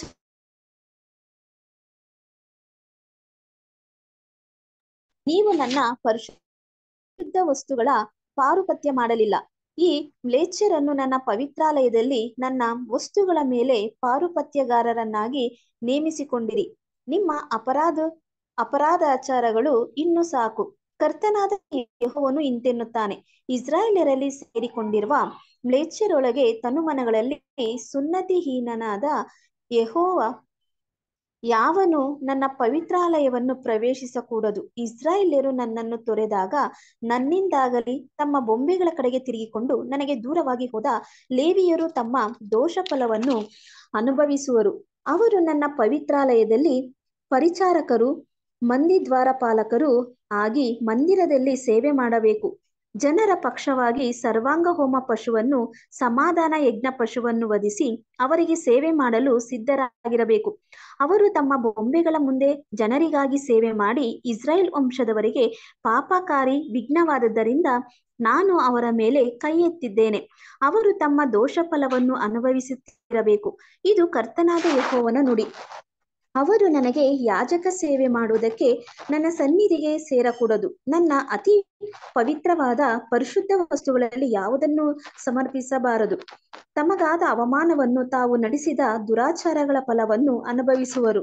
ದೇವಾಲಯದ ಸಕಲ ಸೇವೆಯಲ್ಲಿಯೂ ಅಲ್ಲಿ ನಡೆಯುವ ಸಮಸ್ತ ಕಾರ್ಯಗಳಲ್ಲಿಯೂ ಸೇವಕ ವೃತ್ತಿಯನ್ನೇ ಅವರಿಗೆ ಕೊಡುವೆನು. ಯಾಜಕರ ವಿಷಯವಾದ ವಿವಿಧ ನಿಯಮಗಳು. ಆದರೆ ಇಸ್ರಾಯೇಲ್ಯರು ನನ್ನನ್ನು ತೊರೆದಾಗ ದೇವಿಯರು ಚಾದುಕನ ಸಂತಾನದವರು ಆದ ಯಾಜಕರು ನನ್ನ ಪವಿತ್ರಾಲಯದ ಪಾರುಪತ್ಯವನ್ನು ನೆರವೇರಿಸಿದ್ದರಿಂದ ಅವರು ನನ್ನನ್ನು ಸೇವಿಸಲು ನನ್ನ ಸನ್ನಿಧಿಗೆ ಸೇರುವರು. ನನಗೆ ರಕ್ತ ಮೇಧಸ್ಸುಗಳನ್ನು ಅರ್ಪಿಸಲು ನನ್ನ ಸಮ್ಮುಖದಲ್ಲಿ ನಿಂತುಕೊಳ್ಳುವರು. ಇದು ಕರ್ತನಾದ ಯಹೋವನ ನುಡಿ. ಅವರು ನನ್ನ ಪವಿತ್ರಾಲಯವನ್ನು ಪ್ರವೇಶಿಸಿ ನನ್ನ ಸೇವೆ ಮಾಡುವುದಕ್ಕೆ ನನ್ನ ವೇ ನನ್ನ ವೇದಿಯನ್ನು ಸಮೀಪಿಸಿ ನನ್ನ ಆಲಯದ ಪಾರುಪತ್ಯವನ್ನು ವಹಿಸುವರು. ಅವರು ಒಳಗಣ ಪ್ರಕಾರದ ಬಾಗಿಲುಗಳನ್ನು ಪ್ರವೇಶಿಸುವಾಗ ನಾರು ಬಟ್ಟೆಗಳನ್ನು ಧರಿಸಿರಬೇಕು. ಒಳಗಣ ಪ್ರಕಾರದ ಬಾಗಿಲುಗಳಲ್ಲಿಯೂ ದೇವಸ್ಥಾನದಲ್ಲಿಯೂ ಸೇವೆ ಮಾಡುತ್ತಿರುವಾಗ ಯಾವ ಹುಣ್ಣೆಯ ಉಡುಪು ಅವರ ಮೇಲೆ ಇರಕೂಡದು. ಇವರು ತಲೆಗೆ ನಾರಿನ ಮುಂಡಾಸವನ್ನು ಸೊಂಟಕ್ಕೆ ನಾರಿನ ಚಡ್ಡಿಯನ್ನು ಹಾಕಿ ಕೊಂಡಿರಲಿ. ಬೆವರುವ ಯಾವ ಉಡುಪನ್ನು ಉಟ್ಟುಕೊಳ್ಳಬಾರದು. ಅವರು ಹೊರ ಪ್ರಕಾರಕ್ಕೆ, ಅಂದರೆ ಅಲ್ಲಿನ ಜನರ ಬಳಿಗೆ ಹೊರಡುವಾಗ ತಮ್ಮ ದೀಕ್ಷಾ ವಸ್ತ್ರಗಳನ್ನು ಅವರಿಗೆ ತಗಲಿಸಿ, ಅವರನ್ನು ಪರಿಶುದ್ಧರಾಗ ಪರಿಶುದ್ಧರಾಗ ಮಾಡದಂತೆ ಅವುಗಳನ್ನು ತೆಗೆದು ಪರಿಶುದ್ಧವಾದ ಕೋಣೆಗಳಲ್ಲಿ ಇಟ್ಟು ಬೇರೆ ವಸ್ತ್ರಗಳನ್ನು ಹಾಕಿಕೊಳ್ಳಲಿ. ಅವರು ತಲೆ ಬೋಳಿಸಬಾರದು, ಕೂದಲನ್ನು ಬೆಳೆಸಬಾರದು, ಕತ್ತರಿಸಿಕೊಂಡಿರಬೇಕು. ಒಳಗಣ ಪ್ರಕಾರವನ್ನು ಪ್ರವೇಶಿಸುವಾಗ ಯಾವ ಯಾಜಕನು ದ್ರಾಕ್ಷರಸವನ್ನು ಕುಡಿದಿರಬಾರದು? ಯಾಜಕರು ವಿಧವೆಯನ್ನಾಗಲಿ, ಗಂಡನಿಂದ ಬಿಡಲ್ಪಟ್ಟವಳನ್ನಾಗಲಿ ಮದುವೆಯಾಗಬಾರದು. ಆದರೆ ಇಸ್ರಾಯೇಲ್ ವಂಶದ ಕನ್ಯೆಯನ್ನಾಗಲಿ, ಯಾಜಕನ ವಿಧವೆಯನ್ನಾಗಲಿ ಮದುವೆ ಮಾಡಿಕೊಳ್ಳಲಿ. ಮೀಸಲಾದುದ್ದಕ್ಕೂ ಮೀಸಲಾದುದ್ದಕ್ಕೂ ಭೇದವನ್ನು ನನ್ನ ಜನರಿಗೆ ತೋರಿಸಿ. ಶುದ್ಧ ಶುದ್ಧ ವಿವೇಚನೆಯನ್ನು ಅವರಿಗೆ ಬೋಧಿಸಲಿ. ವ್ಯಾಜ್ಯವಾಗುವಲ್ಲಿ ಅದನ್ನು ತೀರಿಸಲು ನಿಂತು ನನ್ನ ನ್ಯಾಯವಿಧಿಗಳಿಗೆ ಅನುಸಾರವಾಗಿ ತೀರಿಸಲಿ. ನಾನು ಏರ್ಪಡಿಸಿದ ಹಬ್ಬಗಳಲ್ಲಿ ನನ್ನ ನಿಯಮ ನಿಷ್ಠೆಗಳನ್ನು ಕೈಕೊಂಡು ನನ್ನ ಸಬ್ಬತ್ತುಗಳು ಆಚರಿಸಲ್ಪಡುವಂತೆ ನೋಡಿಕೊಳ್ಳಲಿ. ಸತ್ತವರ ಹೆಣವನ್ನು ಸಮೀಪಿಸಿ ತಮ್ಮನ್ನು ಅಪವಿತ್ರ ಮಾಡಿಕೊಳ್ಳಬಾರದು. ಆದರೆ ಸತ್ತ ತಂದೆ ತಾಯಿ ಮಗನು, ಮಗಳು ತಮ್ಮ ಮದುವೆ ಇಲ್ಲದೆ ತಂಗಿ ಇವರಿಗೋಸ್ಕರ ಒಬ್ಬನು ತನ್ನನ್ನು ಅಪವಿತ್ರ ಮಾಡಿಕೊಳ್ಳಬಹುದು.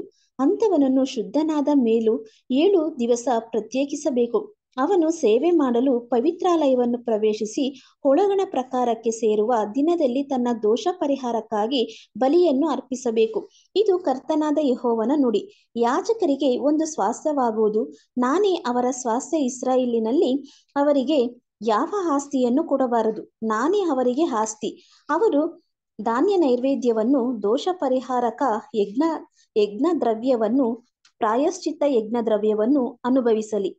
ಕೇವಲ ಯಹೋವನದಾಗಿಯೇ. ಇರಲೆಂದು ಇಸ್ರಾಯೇಲ್ಯರು ಹರಕೆ ಮಾಡಿ, ಹರಕೆ ಮಾಡಿಕೊಡುವುದಿಲ್ಲವೋ ಅವರಿಗೆ ಸಲ್ಲಬೇಕು. ಎಲ್ಲ ಪ್ರಥಮ ಫಲಗಳಲ್ಲಿ ಉತ್ಕೃಷ್ಟವಾದದ್ದು ನೀವು ನನಗೆ ಪ್ರತ್ಯೇಕಿಸಿ ಸಮರ್ಪಿಸುವ ಎಲ್ಲಾ ಪದಾರ್ಥಗಳು ಅವರಿಗಾಗಬೇಕು. ನಿಮ್ಮ ಮನೆಯು ಆಶೀರ್ವಾದಕ್ಕೆ ನೆಲೆಯಾಗುವಂತೆ ನೀವು ಮೊದಲನೆಯ ಹಿಟ್ಟನ್ನು ಯಾಜಕರಿಗೆ ಕೊಡತಕ್ಕದ್ದು. ಯಾಜಕರು ತನಗಾಗಿ ಸತ್ತು ಬಿದ್ದ ಅಥವಾ ಕಾಡು ಮೃಗದಿಂದ ಕೊಲ್ಲಲ್ಪಟ್ಟ ಪಕ್ಷಿಯನ್ನಾಗಲಿ ಪಶುವನ್ನಾಗಲಿ ತಿನ್ನಬಾರದು. ಥ್ಯಾಂಕ್ ಯು ಬ್ರದರ್ ಹಲೋ ಮುಗೀತು ಬ್ರದರ್ ಹಾ ಥ್ಯಾಂಕ್ ಯು ಸಿಸ್ಟರ್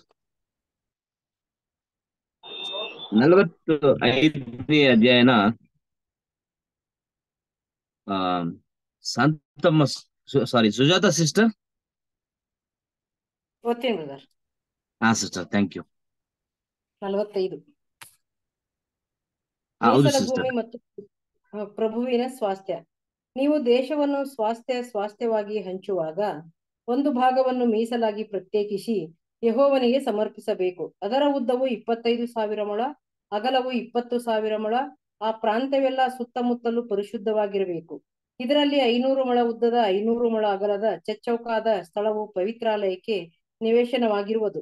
ಅದರ ಸುತ್ತ ಐವತ್ತು ಮೊಳ ಅಗಲ ಉಳಿದ ಭೂ ಆ, ಉಳದ ಭೂಮಿ ಇರುವುದು. ಮೊದಲು ಅಳೆದ ಕ್ಷೇತ್ರದಲ್ಲಿ ಇಪ್ಪತ್ತೈದು ಸಾವಿರ ಮೊಳ ಉದ್ದದ ಹತ್ತು ಸಾವಿರ ಮೊಳ ಅಗಲದ ಒಂದು ಅಂಶವನ್ನು ಅಳೆ ಇದರಲ್ಲಿ ಅತಿ ಪರಿಶುದ್ಧವಾದ ಪವಿತ್ರಾಲಯವು ಇರಬೇಕು. ಇದು ದೇಶದಲ್ಲಿ ಪರಿಶುದ್ಧ ಭಾಗ. ಇದು ಪವಿತ್ರಾಲಯದ ಅರ್ಚಕರು, ಯಹೋವನ ಸನ್ ಸನ್ನಿಧಿ ಸೇವಕರು ಆದ ಯಾಜಕರಿಗೆ ಸಲ್ಲತಕ್ಕದ್ದು. ಇದು ಯಾಜಕರ ಮನೆಗಳಿಗೆ ಅಗ್ರಹಾರವಾಗಿಯೂ, ಪವಿತ್ರಾಲಯಕ್ಕೆ ಪವಿತ್ರ ಸ್ಥಾನವಾಗಿಯೂ ಇರುವುದು. ದೇವಾಲಯದ ಸೇವಕರಾದ ಲೇವಿಯರು ವಾಸಿಸುವಂತೆ ಇಪ್ಪತ್ತೈದು ಸಾವಿರ ಮೊಳ ಉದ್ದದ ಹತ್ತು ಸಾವಿರ ಮೊಳ ಅಗಲದ ಕ್ಷೇತ್ರವು ಅವರಿಗೆ ಸ್ವಾಸ್ಥ್ಯವಾಗುವುದು. ನೀವು ನಮ್ಮ ನನಗೆ ಸಮರ್ಪಿಸುವ ಪರಿಶುದ್ಧ ಭಾಗದ ಪಕ್ಕ ಪಕ್ಕದಲ್ಲಿ ಐದು ಸಾವಿರ ಮೊಳ ಅಗಲದ ಇಪ್ಪತ್ತೈದು ಸಾವಿರ ಮೊಳ ಉದ್ದದ ಕ್ಷೇತ್ರವನ್ನು ರಾಜಧಾನಿಗೆ ಒಳಪಟ್ಟ ಭೂಮಿಯನ್ನಾಗಿ ನೇಮಿಸಬೇಕು. ಅದರಲ್ಲಿ ಇಸ್ರಾಯೇಲ್ ವಂಶದವರಿಗೆಲ್ಲ ಹಕ್ಕಿರುವುದು. ಪ್ರಭುವಿನ ಸ್ವಾಸ್ಥ್ಯವು ನೀವು ಮೀಸಲಾಗಿ ಸಮರ್ಪಿಸುವ ಕ್ಷೇತ್ರಕ್ಕೂ ರಾಜಧಾನಿಗೆ ಒಳಪಟ್ಟ ಭೂಮಿಗೂ ಉಭಯ ಪಾರ್ಶ್ವಗಳಲ್ಲಿರುವುದು. ನೀವು ಮೀಸಲಾಗಿ ಸಮರ್ಪಿಸುವ ಕ್ಷೇತ್ರದ ಮತ್ತು ರಾಜಧಾನಿಗೆ ಒಳಪಟ್ಟ ಭೂಮಿಯ ಪಡುವಲಲ್ಲಿ ಅದು ಪಡವಲಿಗೆ ಹರಡುವುದು, ಮೂಡಲಲ್ಲಿ ಮೂಡಲಿಗೆ ಹರಡುವುದು. ಅದರ ಉದ್ದವು ಪಡವಲಿಂದ ಮೂಡಲಿಗೆ ಒಂದು ಕುಲದ ಸ್ವಾಸ್ಥ್ಯದ ಉದ್ದಕ್ಕೆ ಸರಿ ಸಮನಾಗಿರುವುದು ಅದು ಅವನಿಗೆ ಇಸ್ರಾಯೇಲಿನಲ್ಲಿ ಭೂ ಸ್ವಾಸ್ಥ್ಯವಾಗುವುದು ಇನ್ನು ಮೇಲೆ ನನ್ನ ಪ್ರಭುಗಳು ನನ್ನ ಪ್ರಜೆಗಳನ್ನು ಹಿಂಸಿಸರು. ದೇಶದ ಭೂಮಿಯನ್ನು ಇಸ್ರಾಯೇಲರಿಗೆ ಕುಲ ಕುಲಕ್ಕೂ ಹಂಚುವರು. ಪ್ರಭುವಿನ ಕರ್ತವ್ಯ. ಕರ್ತನಾದ ಯಹೋನು ಇಂತೆನ್ನುತ್ತಾನೆ, ಇಸ್ರಾಯೇಲ್ನ ಪ್ರಭುಗಳೇ, ಇನ್ನು ಸಾಕು ಸಾಕು. ಕೊಳ್ಳೆಯನ್ನು, ಬಲತ್ಕಾರವನ್ನು ತ್ಯಜಿಸಿ, ನೀತಿ ನ್ಯಾಯಗಳನ್ನು ನಡೆಸಿರಿ. ನನ್ನ ಜನರ ಬಾಧ್ಯತೆಗಳನ್ನು ತಪ್ಪಿಸುವ ಅನ್ಯಾಯವನ್ನು ಬಿಟ್ಟು ಬಿಡಿರಿ ಇದು ಕರ್ತನಾದ ಯಹೋನ ನುಡಿ. ನಿಮ್ಮ ತಕ್ಕಡಿಯು, ಧಾನ್ಯದ ಅಳತೆಯು, ರಸದ್ರವ್ಯದ ಅಳತೆಯು ನ್ಯಾಯವಾಗಿಯೇ ಇರಬೇಕು. ಏಫಾ ಎಂಬ ಧಾನ್ಯದ ಅಳತೆಯು ಮತ್ತು ಬತ್ ಎಂಬ ರಸದ್ರವ್ಯದ ಅಳತೆಯು ಒಂದೇ ಪ್ರಮಾಣವಾಗಿರತಕ್ಕದ್ದು. ಬತ್ ಎಂಬುದು ಹೋಮೇರಿನ ಹತ್ತನೆಯ ಒಂದು ಪಾಲು, ಏಫಾ ಎಂಬುದು ಹೋಮೇರಿನ ಹತ್ತನೆಯ ಒಂದು ಪಾಲು. ಈ ಎರಡೂ ಹೋಮೇರ್ ಅಳತೆಗೆ ಸಂಬಂಧವಾಗಿರಬೇಕು. ತೊಲೆಯು ಇಪ್ಪತ್ತು ಗೇರ ತೂಕವಾಗಿರಬೇಕು. ನಿಮ್ಮಲ್ಲಿ ಸಲ್ಲುವ ಮಾನೆಯು ಇಪ್ಪತ್ತು, ಇಪ್ಪತ್ತೈದು ಅಥವಾ ಹದಿನೈದು ತೊಲೆಯ ತೂಕದ್ದಾಗಿರಲಿ. ಕರ್ತನಾದ ಯಹೋನು ಇಂತೆನ್ನುತ್ತಾನೆ, ನೀವು ನಿಮ್ಮ ದೋಷ ಪರಿಹಾರಕ್ಕಾಗಿ ಧಾನ್ಯ ನೈವೇದ್ಯವನ್ನು, ಸರ್ವಾಂಗ ಹೋಮವನ್ನು, ಸಮಾಧಾನ ಯಜ್ಞವನ್ನು ಮಾಡುವುದಕ್ಕೋಸ್ಕರ ಸಮರ್ಪಿಸತಕ್ಕದ್ದೇನೆಂದರೆ ಒಂದು ಹೋಮೇರ್ ಅಳತೆಯ ಗೋಧಿಯಲ್ಲಿ ಏಫಾ ಅಳತೆಯ ಆರನೆಯ ಒಂದು ಪಾಲು, ಒಂದು ಹೋಮೇರ್ ಅಳತೆಯ ಜವೆ ಗೋಧಿಯಲ್ಲಿ ಏಫಾ ಅಳತೆಯ ಆರನೆಯ ಒಂದು ಪಾಲು, ಒಂದು ಬತ್ ಎಣ್ಣೆಯಲ್ಲಿ ಸಮರ್ಪಿಸಬೇಕಾದ ಭಾಗವೆಷ್ಟೆಂದರೆ ಒಂದು ಕೋರ್, ಅಂದರೆ ಹತ್ತು ಬತ್, ಅಥವಾ ಒಂದು ಹೋಮೇರ್ ಅಳತೆಯ ಎಣ್ಣೆಯಲ್ಲಿ ಒಂದು ಬತ್ ಅಳತೆಯ ಹತ್ತನೆಯ ಒಂದು ಪಾಲು. ಹತ್ತು ಬತ್ ಅಂದರೆ ಒಂದು ಹೋಮೇರ್. ಇನ್ನೂರು ಕುರಿಗಳಲ್ಲಿ ಇಸ್ರಾಯೇಲಿನ ನೀರಾವರಿಯ ಹುಲ್ಗಾವಲಿನ ಒಂದು ಕುರಿ ಇವುಗಳನ್ನು ದೇಶದ ಸಕಲ ಜನರು ಇಸ್ರಾಯೇಲಿನ ಪ್ರಭುವಿಗೆ ಒಪ್ಪಿಸತಕ್ಕದ್ದು. ಉತ್ಸವಗಳಲ್ಲಿಯೂ ಅಮಾವಾಸ್ಯೆಗಳಲ್ಲಿಯೂ ಸಬ್ಬತ್ತುಗಳಲ್ಲಿಯೂ ಇಸ್ರಾಯೇಲ್ ವಂಶದವರಿಗೆ ನೇಮಕವಾದ ಎಲ್ಲಾ ಹಬ್ಬಗಳಲ್ಲಿಯೂ ಸರ್ವಾಂಗ ಹೋಮ, ಪಶು, ಧಾನ್ಯ, ನೈವೇದ್ಯ, ಪಾನ, ನೈವೇದ್ಯ ಇವುಗಳನ್ನು ಒದಗಿಸುವುದು ಪ್ರಭುವಿನ ಕರ್ತವ್ಯ. ಇಸ್ರಾಯೇಲ್ ವಂಶದ ದೋಷ ನಿವಾರಣೆಗಾಗಿ ಅವನು ದೋಷ ಪರಿಹಾರಕ ಯಜ್ಞ ಪಶು ಧಾನ್ಯ ನೈವೇದ್ಯ ಸರ್ವಾಂಗ ಹೋಮ ಪಶು ಸಮಾಧಾನ ಯಜ್ಞ ಪಶು ಇವುಗಳನ್ನು ಒಪ್ಪಿಸತಕ್ಕದ್ದು. ಪಸ್ಕ ಮತ್ತು ಪರ್ಣಶಾಲೆ ಹಬ್ಬಗಳ ಬಲಿಗಳು. ಕರ್ತನಾದ ಯಹೋನು ಇಂತೆನ್ನುತ್ತಾನೆ, ಮೊದಲನೆಯ ತಿಂಗಳಿನ ಮೊದಲನೇ ದಿನದಲ್ಲಿ ನೀನು ಪೂರ್ಣಾಂಗವಾದ ಹೋರಿಯನ್ನು ಆರಿಸಿ, ಅದರಿಂದ ಪವಿತ್ರಾಲಯದ ಪವಿತ್ರಾಲಯವನ್ನು ಶುದ್ಧೀಕರಿಸಬೇಕು. ಆಗ ಯಾಜಕನು ಆ ದೋಷ ಪರಿಹಾರಕ ಯಜ್ಞ ಯಜ್ಞ ಪಶುವಿನ ರಕ್ತದಲ್ಲಿ ಸ್ವಲ್ಪವನ್ನು ತೆಗೆದುಕೊಂಡು ದೇವಸ್ಥಾನದ ಬಾಗಿಲಿನ ಚೌಕಟ್ಟಿಯು ಯಜ್ಞವೇದಿಯ ದೊಡ್ಡ ಅಂತಸ್ತಿನ ನಾಲ್ಕು ಮೂಲೆಗಳಿಗೂ ಒಳಗಣ ಪ್ರಾಕಾರದ ಹೆಬ್ಬಾಗಿಲಿನ ನಿಲುವ ಕಂಬಗಳಿಗೂ ಹಚ್ಚಬೇಕು. ಅದೇ ಮೇರೆಗೆ ಏಳನೆಯ ತಿಂಗಳಿನ ಮೊದಲನೆಯ ದಿನದಲ್ಲಿ ನೀನು ಯಜ್ಞ ಮಾಡಿ ಯಾರಾದರೂ ಅಕಸ್ಮಾತಾಗಿ ಮಾಡಿದ ತಪ್ಪಿನಿಂದಾಗಲಿ, ಬುದ್ಧಿಹೀನರ ಅವಿವೇಕದಿಂದಾಗಲಿ ದೇವಾಲಯಕ್ಕೆ ಸಂಭವಿಸಿದ ದೋಷವನ್ನೆಲ್ಲ ಪರಿಹರಿಸಬೇಕು. ಮೊದಲನೇ ತಿಂಗಳಿನ ಹದಿನಾಲ್ಕನೇ ದಿನದಲ್ಲಿ ಏಳು ದಿವಸದ ಪಸ್ಕ ಹಬ್ಬವನ್ನು ಆಚರಿಸತೊಡಗಬೇಕು. ಹುಳಿಯಿಲ್ಲದ ರೊಟ್ಟಿಯನ್ನೇ ತಿನ್ನಬೇಕು. ಆ ದಿನದಲ್ಲಿ ಪ್ರಭುವು ತನ್ನ ನಿಮಿತ್ತವೂ, ದೇಶದ ಜನರೆಲ್ಲರ ನಿಮಿತ್ತವೂ ದೋಷ ಪರಿಹಾರಕ ಯಜ್ಞಕ್ಕಾಗಿ ಒಂದು ಹೋರಿಯನ್ನು ಒಪ್ಪಿಸಲಿ. ಹಬ್ಬದ ಏಳು ದಿನಗಳಲ್ಲಿಯೂ ಯಹೋವನಿಗೆ ಸಮರ್ಪಿಸತಕ್ಕ ಸರ್ವಾಂಗ ಹೋಮಕ್ಕಾಗಿ ಅವನು ಏಳು ದಿನಗಳವರೆಗೆ ದಿನವೊಂದಕ್ಕೆ ಪೂರ್ಣಾಂಗವಾದ ಏಳು ಹೋರಿಗಳನ್ನು, ಏಳು ಟಗರುಗಳನ್ನು ಒದಗಿಸಲಿ ಮತ್ತು ದೋಷ ಪರಿಹಾರಕ ಯಜ್ಞಕ್ಕಾಗಿ ದಿನವಹಿ ಒಂದು ಹೋತವನ್ನು ಕೊಡಲಿ. ಇದಲ್ಲದೆ ಒಂದೊಂದು ಹೋರಿಯ ಮತ್ತು ಟಗರಿನ ಸಂಗಡ ಮೂವತ್ತು ಮೂವತ್ತು ಸೇರು ಗೋಧಿ ಹಿಟ್ಟನ್ನು ಆರಾರು ಸೇರು ಎಣ್ಣೆಯನ್ನು ಧಾನ್ಯ ನೈವೇದ್ಯಕ್ಕಾಗಿ ಒಪ್ಪಿಸಬೇಕು. ಏಳನೆಯ ತಿಂಗಳಿನ ಹದಿನೈದನೇ ದಿವಸದಲ್ಲಿ ಪ್ರಾರಂಭವಾಗುವ ಹಬ್ಬದ ಏಳು ದಿವಸಗಳಲ್ಲಿಯೂ ಅವನು ದೋಷ ಪರಿಹಾರಕ ಯಜ್ಞ ಯಜ್ಞ ಪಶು ಸರ್ವಾಂಗ ಹೋಮ ಪಶು ಧಾನ್ಯ ನೈವೇದ್ಯ ಎಣ್ಣೆ ಇವುಗಳನ್ನು ಅದೇ ಕ್ರಮದಂತೆ ಕೊಡಬೇಕು thank you brother thank you sister ನಲವತ್ತು ಆರನೇ ಅಧ್ಯಾಯನ ಸಿಸ್ಟರ್ ಮಂಗಳಾ ಸಿಸ್ಟರ್ ಇದ್ದೀರಾ? ಮಂಗಳಾ ಸಿಸ್ಟರ್? ನಲವತ್ತು ಆರನೇ ಅಧ್ಯಾಯನ ಓದ್ತೀರಾ ಸಿಸ್ಟರ್? ಪೂರ್ತಿಯಾಗಿ ಓದ್ತೀರಾ ಸಿಸ್ಟರ್ ಇಲ್ಲ ಅರ್ಧ ಓದ್ತೀರಾ? ಹೆಂಗೆ ಓದಕ್ಕಾದ್ರೆ ಪೂರ್ತಿಯಾಗಿ ಓದಿ ಪರವಾಗಿಲ್ಲ. ಹಾ ಸರಿ ಸಿಸ್ಟರ್ ಥ್ಯಾಂಕ್ ಯು ಸಿಸ್ಟರ್ ಓದಿ. ಸಬ್ಬತ್ತಿನ ಮತ್ತು ಅಮಾವಾಸ್ಯೆಯ ಪೂಜೆ. ಕರ್ತನಾದ ಯಹೋವನು ಇಂತೆನ್ನುತ್ತಾನೆ.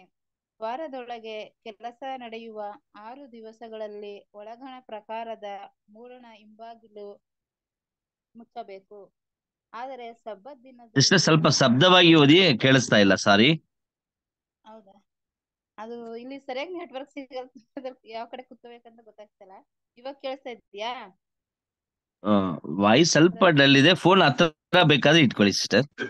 ಆ ಸರಿ. ಫೋನ್ ಕೈಲ ಇಟ್ಕೊಬಿಡ್ತೀನಿ ಆ ಸರಿ ಸಿಸ್ಟರ್. ಓದಿ ಸಿಸ್ಟರ್. ಸಬ್ಬತ್ ಸಬ್ಬತ್ ದಿನದಲ್ಲಿಯೂ ಅಮಾವಾಸ್ಯೆಯಲ್ಲಿಯೂ ಕೇಳಿಸ್ತಿದೆ ಬ್ರದರ್?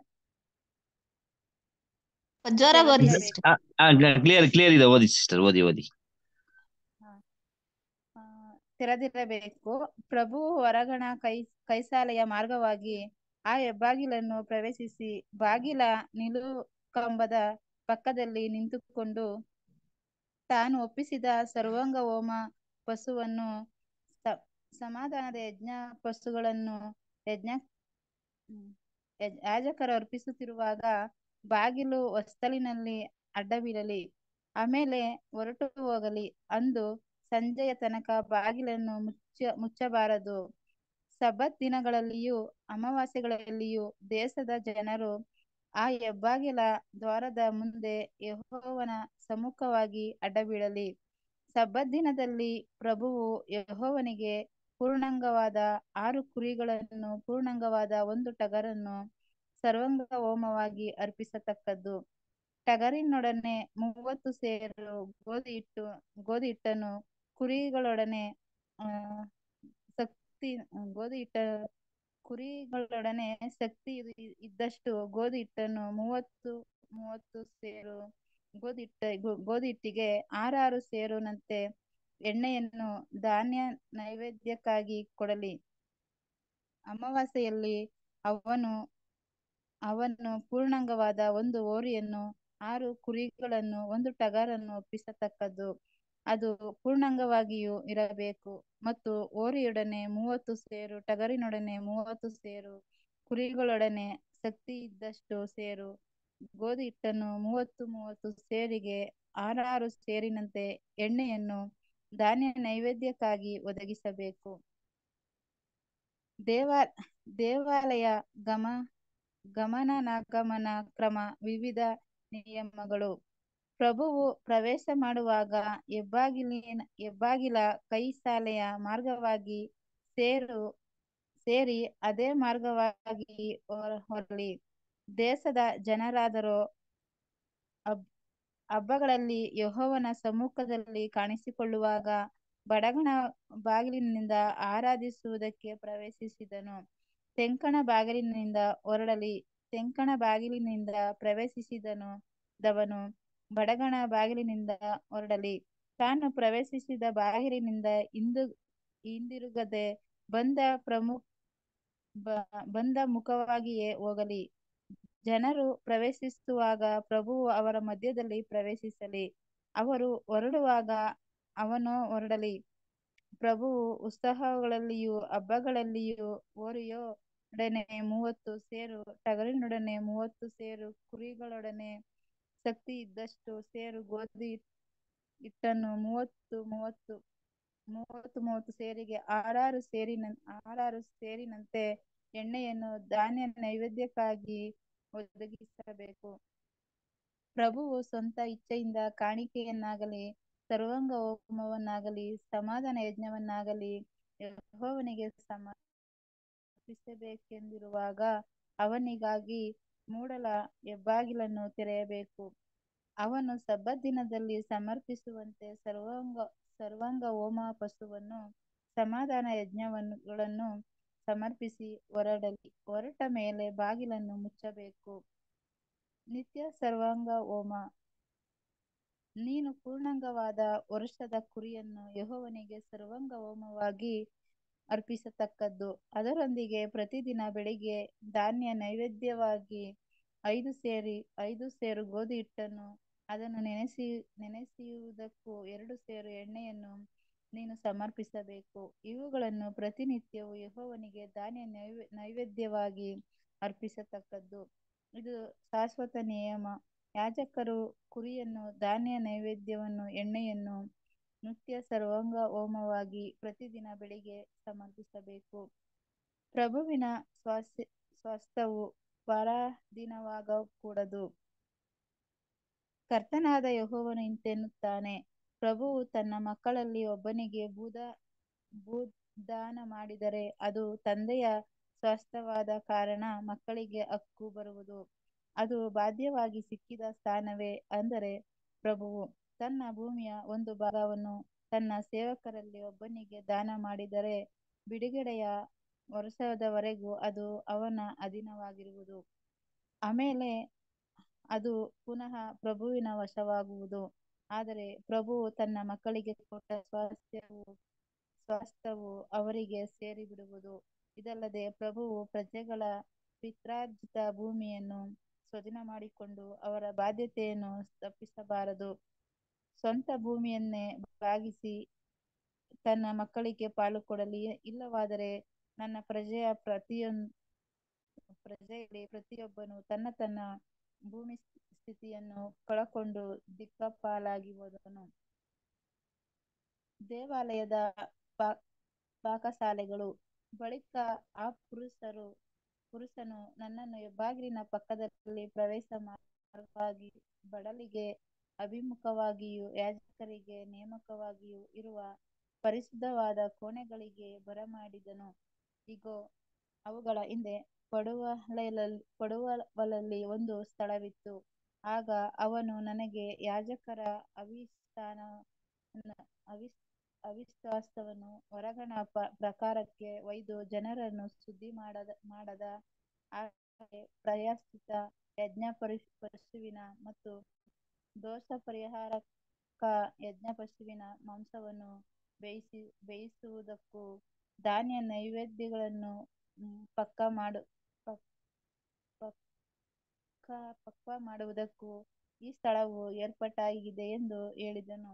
ತರುವಾಯ ಅವನು ನನ್ನನ್ನು ಹೊರಗಣ ಪ್ರಾಕಾರಕ್ಕೆ ಬರಮಾಡಲಿ. ಅಲ್ಲಿನ ನಾಲ್ಕು ಮೂಲೆಗಳ ಮಾರ್ಗವಾಗಿ ಕರಕೊಂಡು ಹೋದನು. ಇಗೋ, ಪ್ರಕಾರದ ಒಂದೊಂದು ಮೂಲೆಯಲ್ಲಿ ಒಂದೊಂದು ಒಳಗಣ ಅಂಗವು ಕಾಣಿಸಿತು ಕಾಣಿಸಿತು. ಹೌದು ಪ್ರಕಾರದ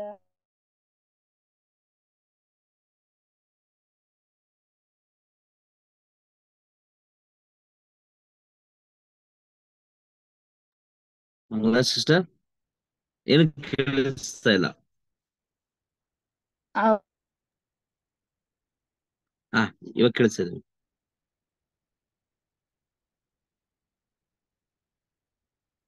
ಮಂಗಳ ಸಿಸ್ಟರ್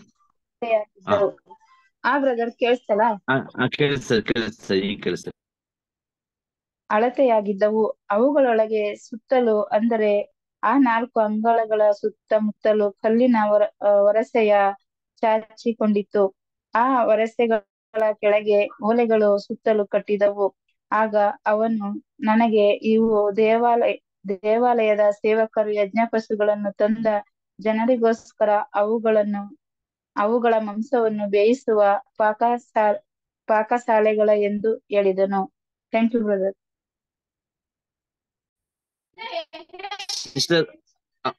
ಆಯ್ತು ಸಿಸ್ಟರ್ ಹಾ ಓಕೆ ಆಯ್ತು ಬ್ರದರ್ ಆ okay sister thank you sister ನಲ್ವತ್ತು ನಲ್ವತ್ತೇಳನೇ ಅಧ್ಯಾಯನ ಆ ದೀಪಾ ಸಿಸ್ಟರ್ ಇಲ್ಲ ಓಕೆ ಕಮಲಕ್ಕ ಅವ್ರು ನೋಡಿ ಕಮಲಕ್ಕ ಕೊಡಿ ಆ, ಬ್ರದರ್ ಆ.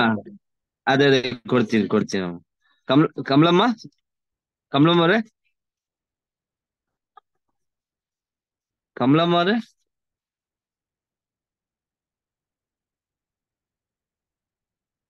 ಕಮಲಮ್ಮ ಅವರೇ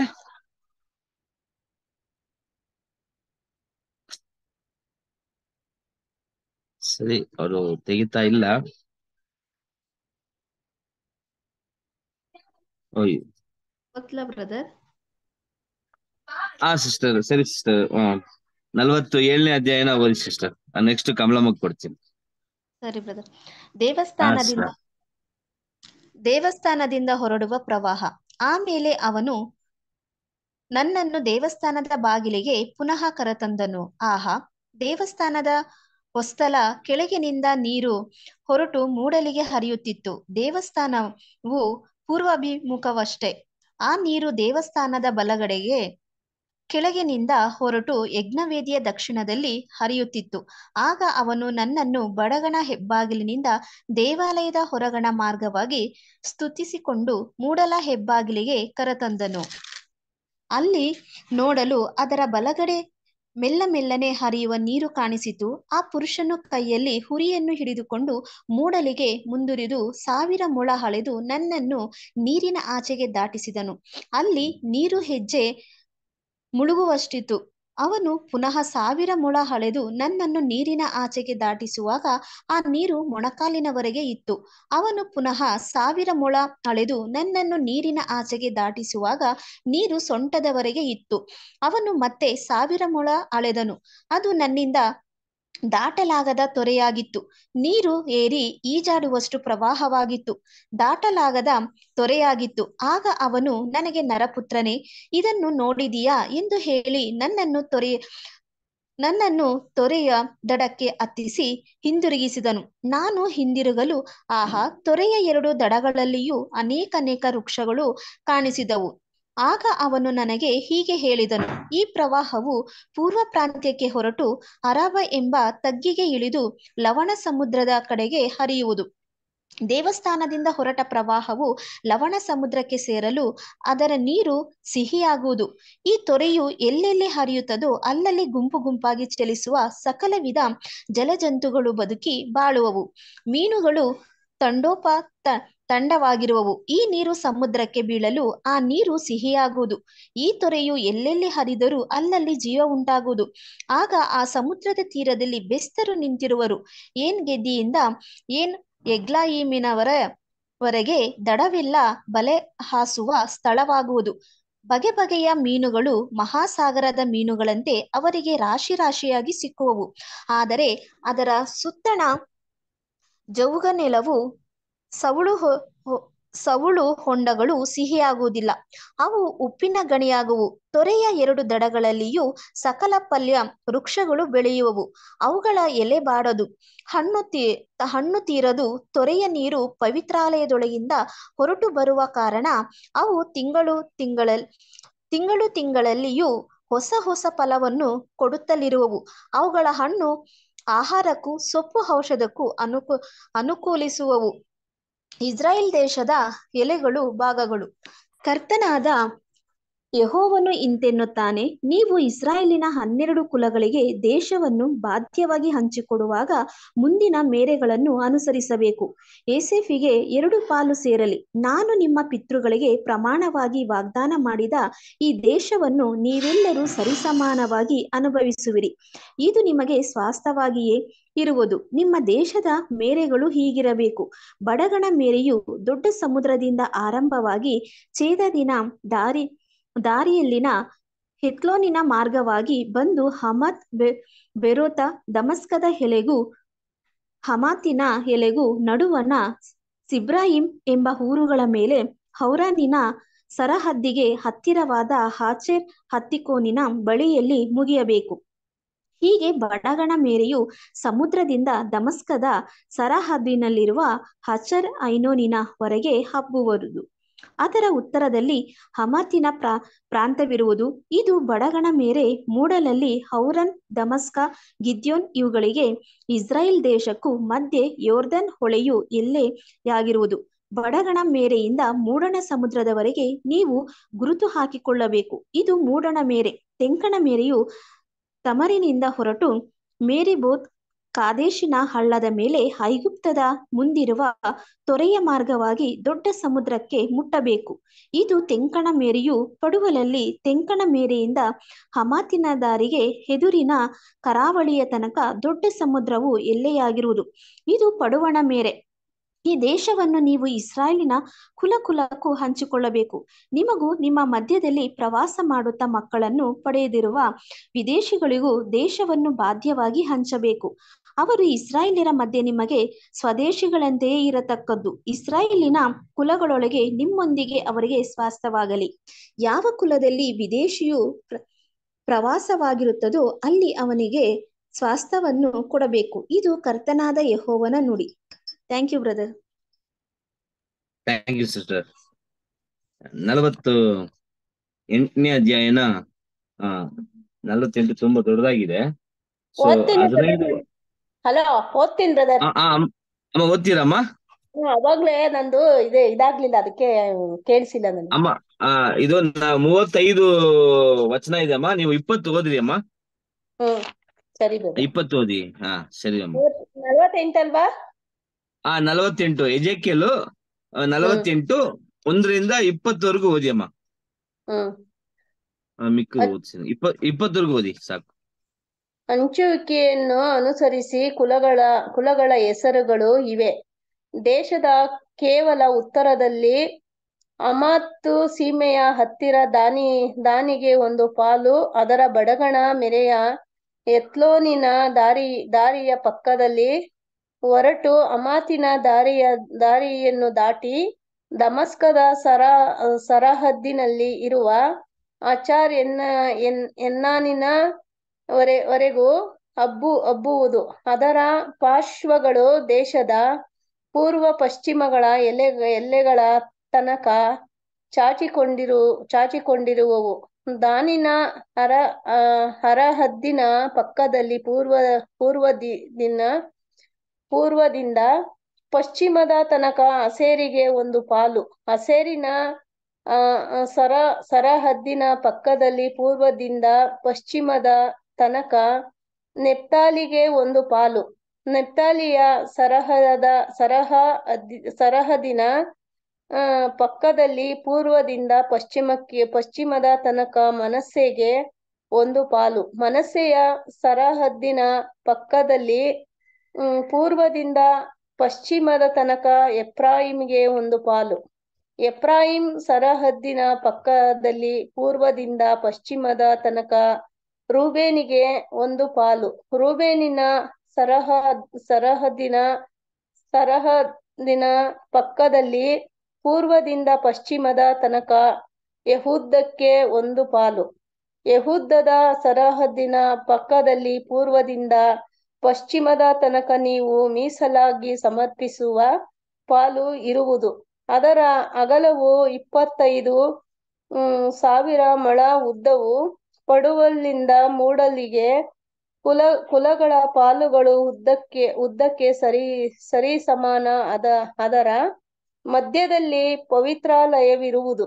ನೀವು ಮೀಸಲು ಭೂಮಿಯಲ್ಲಿ ಯೋಹಾವನಿಗೆ ವಿಶೇಷವಾದ ಮೀಸಲಾಗಿ ಸಮರ್ಪಿಸುವ ಪಾಲಿನ ಉದ್ದ ಉದ್ದವು ಇಪ್ಪತ್ತೈದು ಸಾವಿರ ಮಳ ಅಗಲವು ಹತ್ತು ಸಾವಿರ ಮೊಳ ಮೀಸಲಾದ ಪವಿತ್ರ ಕ್ಷೇತ್ರವು ಯಾವ ಯಾಜಕ, ಯಾಜಕರಿಗೆ ಸಲ್ಲತಕ್ಕದ್ದು? ಬಡಗಲ್ಲಿಂದ ಅದರ ಉದ್ದವು ಇಪ್ಪತ್ತು, ಇಪ್ಪತ್ತೈದು ಸಾವಿರ ಮಳ. ಪಡು, ಪಡುವಲ್, ಪಡು, ಪಡುವಲ್ಲಲ್ಲಿ ಅಗಲವು ಅಗಲವು ಹತ್ತು ಸಾವಿರ ಮಳ. ಮೂಡಲಲ್ಲಿ ಅಗಲವು ಹತ್ತು ಸಾವಿರ ಮಳ. ತೆಂಗಲ್ಲಿ, ಹ್ಮ್, ಹತ್ತು, ಉದ್- ಉದ್ದವು ಉದ್ದವು ಇಪ್ಪತ್ತೈದು ಸಾವಿರ ಮೊಳ. ಅದರ ಮಧ್ಯದಲ್ಲಿ ಯೋಹಾವನ ಪವಿತ್ರ ಲಯ ಲಯವಿರುವುದು ಆ ಕ್ಷೇತ್ರವು ಚಾದ್ರೋ, ಚಾದೋಕನ ಸಂತಾನದವರಲ್ಲಿ ನನಗ, ನನಗಾಗಿ ಪ್ರತಿಷ್ಠಿತರು. ನನ್ನ ಆಲಯ, ಆಲಯದ ಪಾರು, ಪಾರುಪತ್ಯವನ್ನು ನೆರವೇರಿಸಿ ನೆರವೇರಿಸಿದ್ದವರು ಅದ ಅದ ನೆರವೇರಿಸಿದ್ದರು. ಆ, ಆದ ಯಾಜಕರಿಗೆ ನೆರವೇರಿಸಿದಾದ ಯಾಜಕರಿಗೆ ಸೇರತಕ್ಕದ್ದು ಇಸ್ರಾಯೇಲರು ನನ್ನನ್ನು ತೆರೆದ ತೊರೆದ, ತೊರೆದಾಗ ಲೇವಿಯರು ತೊರೆದಂತೆ ಇವರು ತೊರೆಯಲಿಲ್ಲ, ಎಲ್, ತೊರೆಯಲಿಲ್ಲವಲ್ಲ. ಲೇವಿಯರು ಪಾಲಿನ ಸರ, ಸರಹದ್ದಿನಗೆ, ಅದ್ದಿಗೆ ಪಕ್ಕದಲ್ಲಿ ಇರು, ಇರುವ ಆ ಕ್ಷೇತ್ರವು ಪವಿತ್ರ ಸ್ಥಾನ ಸ್ಥಾನವು, ದೇಶದೊಳಗಣ ಮೀಸಲಲ್ಲಿ ಮೀಸಲಲ್ಲಿ ಮೀಸಲು ಹಾಗೆ ಯಾಜಕ, ಯಾಜಕರಾಗಿ ಇರುವುದು ಮತ್ತು ಇಪ್ಪತ್ತೈದು ಸಾವಿರ ಮೊಳ, ಉದ್ದದ ಹತ್ತು ಸಾವಿರ ಮೊಳ ಅಗಲದ ಒಂದು ಪಾಲು. ಯಾಜಕರ ಪಾಲಿನ ಸರಹದ್ದಿಗೆ ಪಕ್ಕ, ಪಕ್ಕದಲ್ಲಿ ಲೇವಿಯರಿಗೆ ಸ್ವಲ್ಪ ಸಲ್ಲತಕ್ಕದ್ದು. ಈ ಎರಡು ಪಾಲುಗಳು ಪಟ್ಟಣ, ಒಟ್ಟ, ಒಟ್ಟಳತೆ ಒಟ್ಟಳತೆ ಎಷ್ಟೆಂದರೆ ಉದ್ದವು ಇಪ್ಪತ್ತೈದು ಸಾವಿರ ಮೊಳ ಅಗಲವು ಇಪ್ಪತ್ತು ಸಾವಿರ ಮೊಳ. ಆ ಕ್ಷೇತ್ರವು ಯೋಹಾವನಿಗೆ ಮೀಸಲಾಗಿ ಮೀಸಲಾದದ್ದರಿಂದ ಅದರಲ್ಲಿ ಯಾವ ಭಾಗವನ್ನು ಮಾರಬಾರದು? ಬದಲ ಬದ ಬದಲ ಬದಲ ಬದಲ ಬದಲಿ ಮಾಡಕೂಡದು. ದೇಶದ ಆ ಶ್ರೇಷ್ಠ ಶ್ರೇಷ್ಠ ಶ- ಶ್ರೇಷ್ ಆ, ಶ್ರೇಷ್ಠಾಂಶವು ಪರ ಪರವಶವಾಗ ಆಗದಿರಲಿ. ಇಪ್ಪತ್ತೈದು ಸಾವಿರ ಮಳ ಉದ್ದದ ಆ ಕ್ಷೇತ್ರವು ಪಕ್ಕದಲ್ಲಿ ಮೀಸಲ್, ಮೀಸ್, ಮೀಸಲು ಪಾಲಿನ ಒಟ್ಟಳತೆ, ಒಟ್ಟಳತೆಯಲ್ಲಿ ಮಿಕ್ಕ ಐದು ಸಾವಿರ ಮೊಳ ಹಗಲದ ಭೂಮಿಯು ಮೀಸಲಲ್ ಮೀಸಲಲ್, ಮೀಸಲಲ್ಲವೆಂದೆಣಿಸಿ ರಾಜ, ರಾಜಧಾನಿಗೆ ಅಂದರೆ ಜನರು ನಿವಾಸಕ್ಕೆ ಸುತ್ತಣ ಪ್ರದೇಶಕ್ಕೂ ಪ್ರತ್ಯೇಕ, ಪ್ರತ್ಯೇಕಿಸಲ್ಪಡಲಿ. ರಾಜಧಾನಿಯು ಅದರ ಮಧ್ಯದಲ್ಲಿ, ಮಧ್ಯದಲ್ಲಿರಲಿ. ರಾಜಧಾನಿಯ ಅಳತೆಯು ಹೀಗಿರಬೇಕು. ಬಡವಣ, ಬಡಗಣ ಪಕ್ಕದ ನಾಲ್ಕು ಸಾವಿರದ ಐನೂರು ಐನೂರು ಮಳ ತೆಂಗಣ ಪಕ್ಕದ ಪಕ್ಕವು ನಾಲ್ಕು ಸಾವಿರದ ಐನೂರು ಮಳ, ಮೂಡಣ ಪಕ್ಕವು ಪಕ್ಕವು ನಾಲ್ಕು ಸಾವಿರದ ಐನೂರು ಮಳ ಪಡವಣ, ಪಡ, ಪಡುವಣ ಪಕ್ಕವು ನಾಲ್ಕು ಸಾವಿರದ ಐನೂರು ಮಳ. ರಾಜಧಾನಿಗೆ ಸುತ್ತಣ ಪ್ರದೇಶವಿರಬೇಕು. ಅದರ ಅಗಲ, ಅಗಲವು ಬಡಗಲ್ ಬಡಗಲ್ಲಲ್ಲಿ ಇನ್ನೂರೈವತ್ತು ಮೊಳ ತೆಂಗಲ್ಲಲ್ಲಿ ಇನ್ನೂರೈವತ್ತು ಮೊಳ ಮೂಡಲ್ಲಲ್ಲಿ ಇನ್ನೂರೈವತ್ತು ಮೊಳ ಒಡವಲ್ಲಲ್ಲಿ ಇನ್ನೂರ್ ಇನ್ನೂರೈವತ್ತು ಮೊಳ ರಾಜ, ರಾಜಧಾನಿ.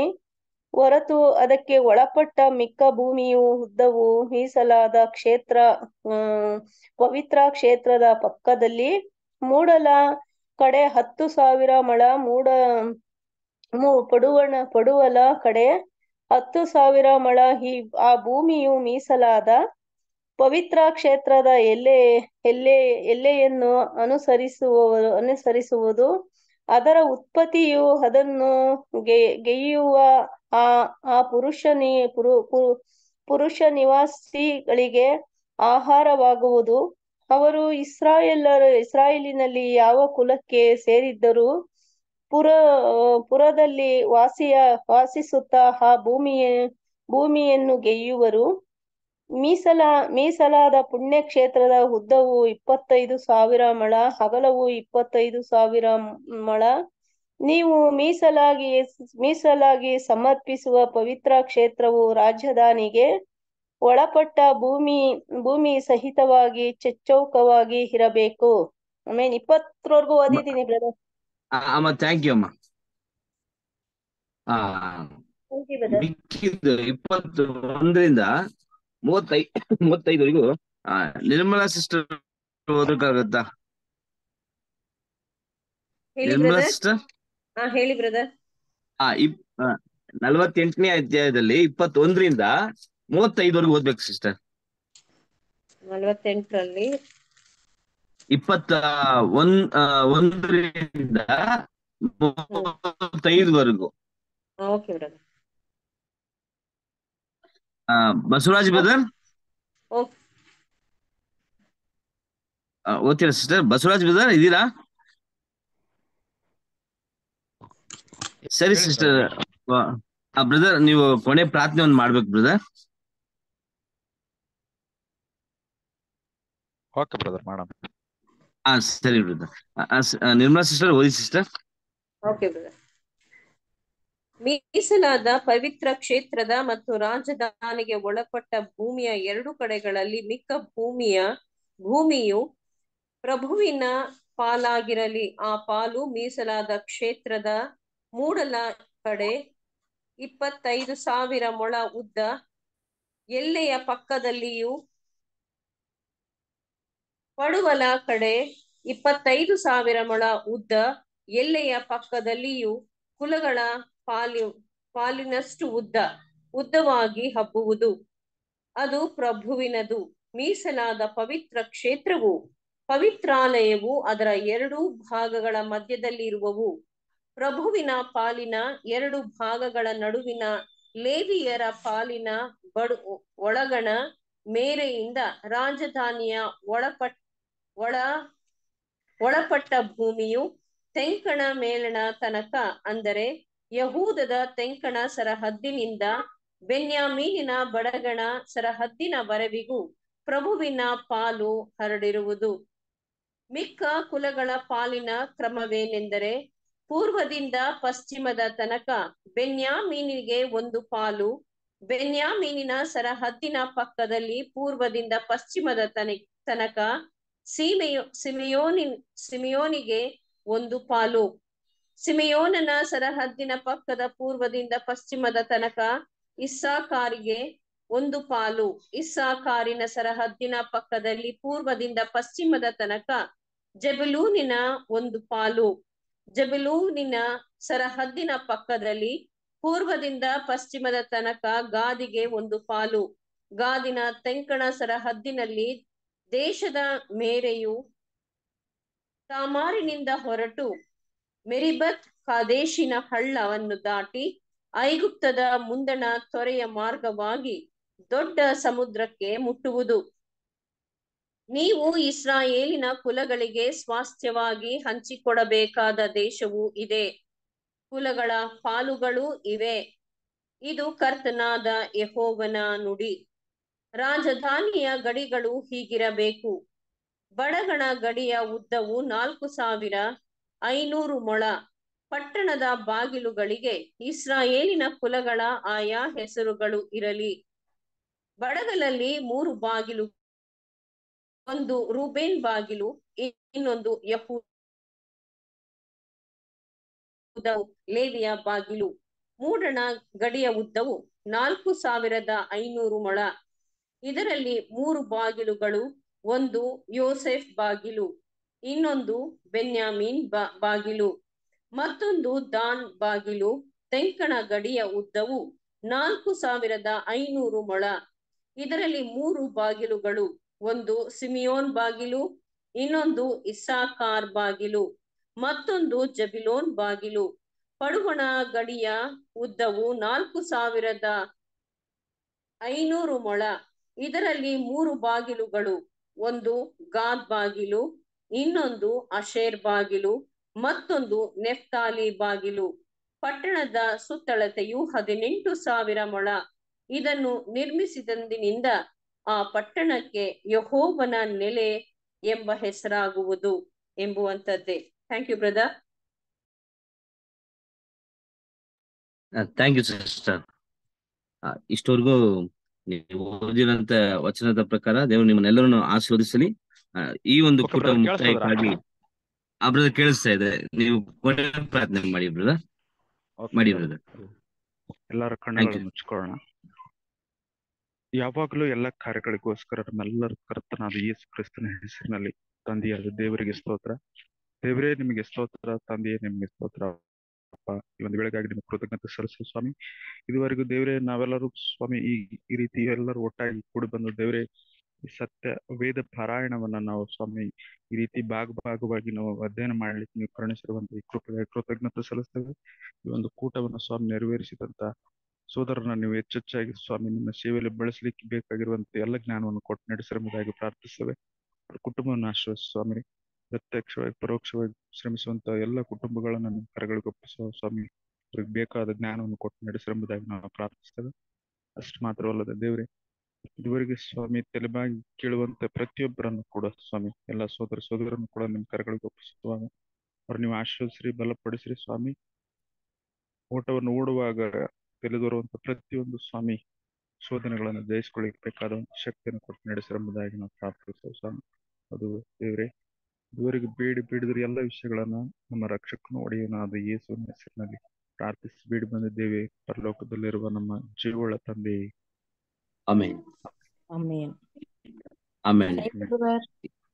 ಥ್ಯಾಂಕ್ ಯು ಬ್ರದರ್ಸ್ ಎಲ್ಲ. ಸಿಸ್ಟರ್ ಎಲ್ಲರಿಗೂ ಥ್ಯಾಂಕ್ ಯು ನಮಸ್ತೆ. ಎಲ್ಲಾ ಬ್ರದರ್ಸ್ಗೂ ನಮಸ್ತೆ ನಮಸ್ತೆ. ನಮಸ್ತೆ. ಸಿಸ್ಟರ್ ಎಲ್ರಿಗೂ ನಮಸ್ತೆ. ಎಲ್ಲಾ ಬ್ರದರ್ ಸಿಸ್ಟರ್ ನಮಸ್ತೆ.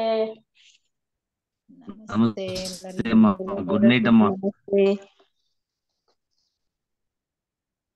ಶಾಂತಮಸ್ಟರ್ ಗುಡ್ ನೈಟ್ ಮಂಗಳಸ್ಟರ್ ಗುಡ್ ನೈಟ್ ಗೌರಮಸ್ಟರ್ ಗುಡ್ ನೈಟ್ ಉಷಾ ಸಿಸ್ಟರ್ ನಮಸ್ತೆ ಕಮಲಮ್ಮ ಅಕ್ಕ ಎಲ್ರಿಗೂ ಗುಡ್ ನೈಟ್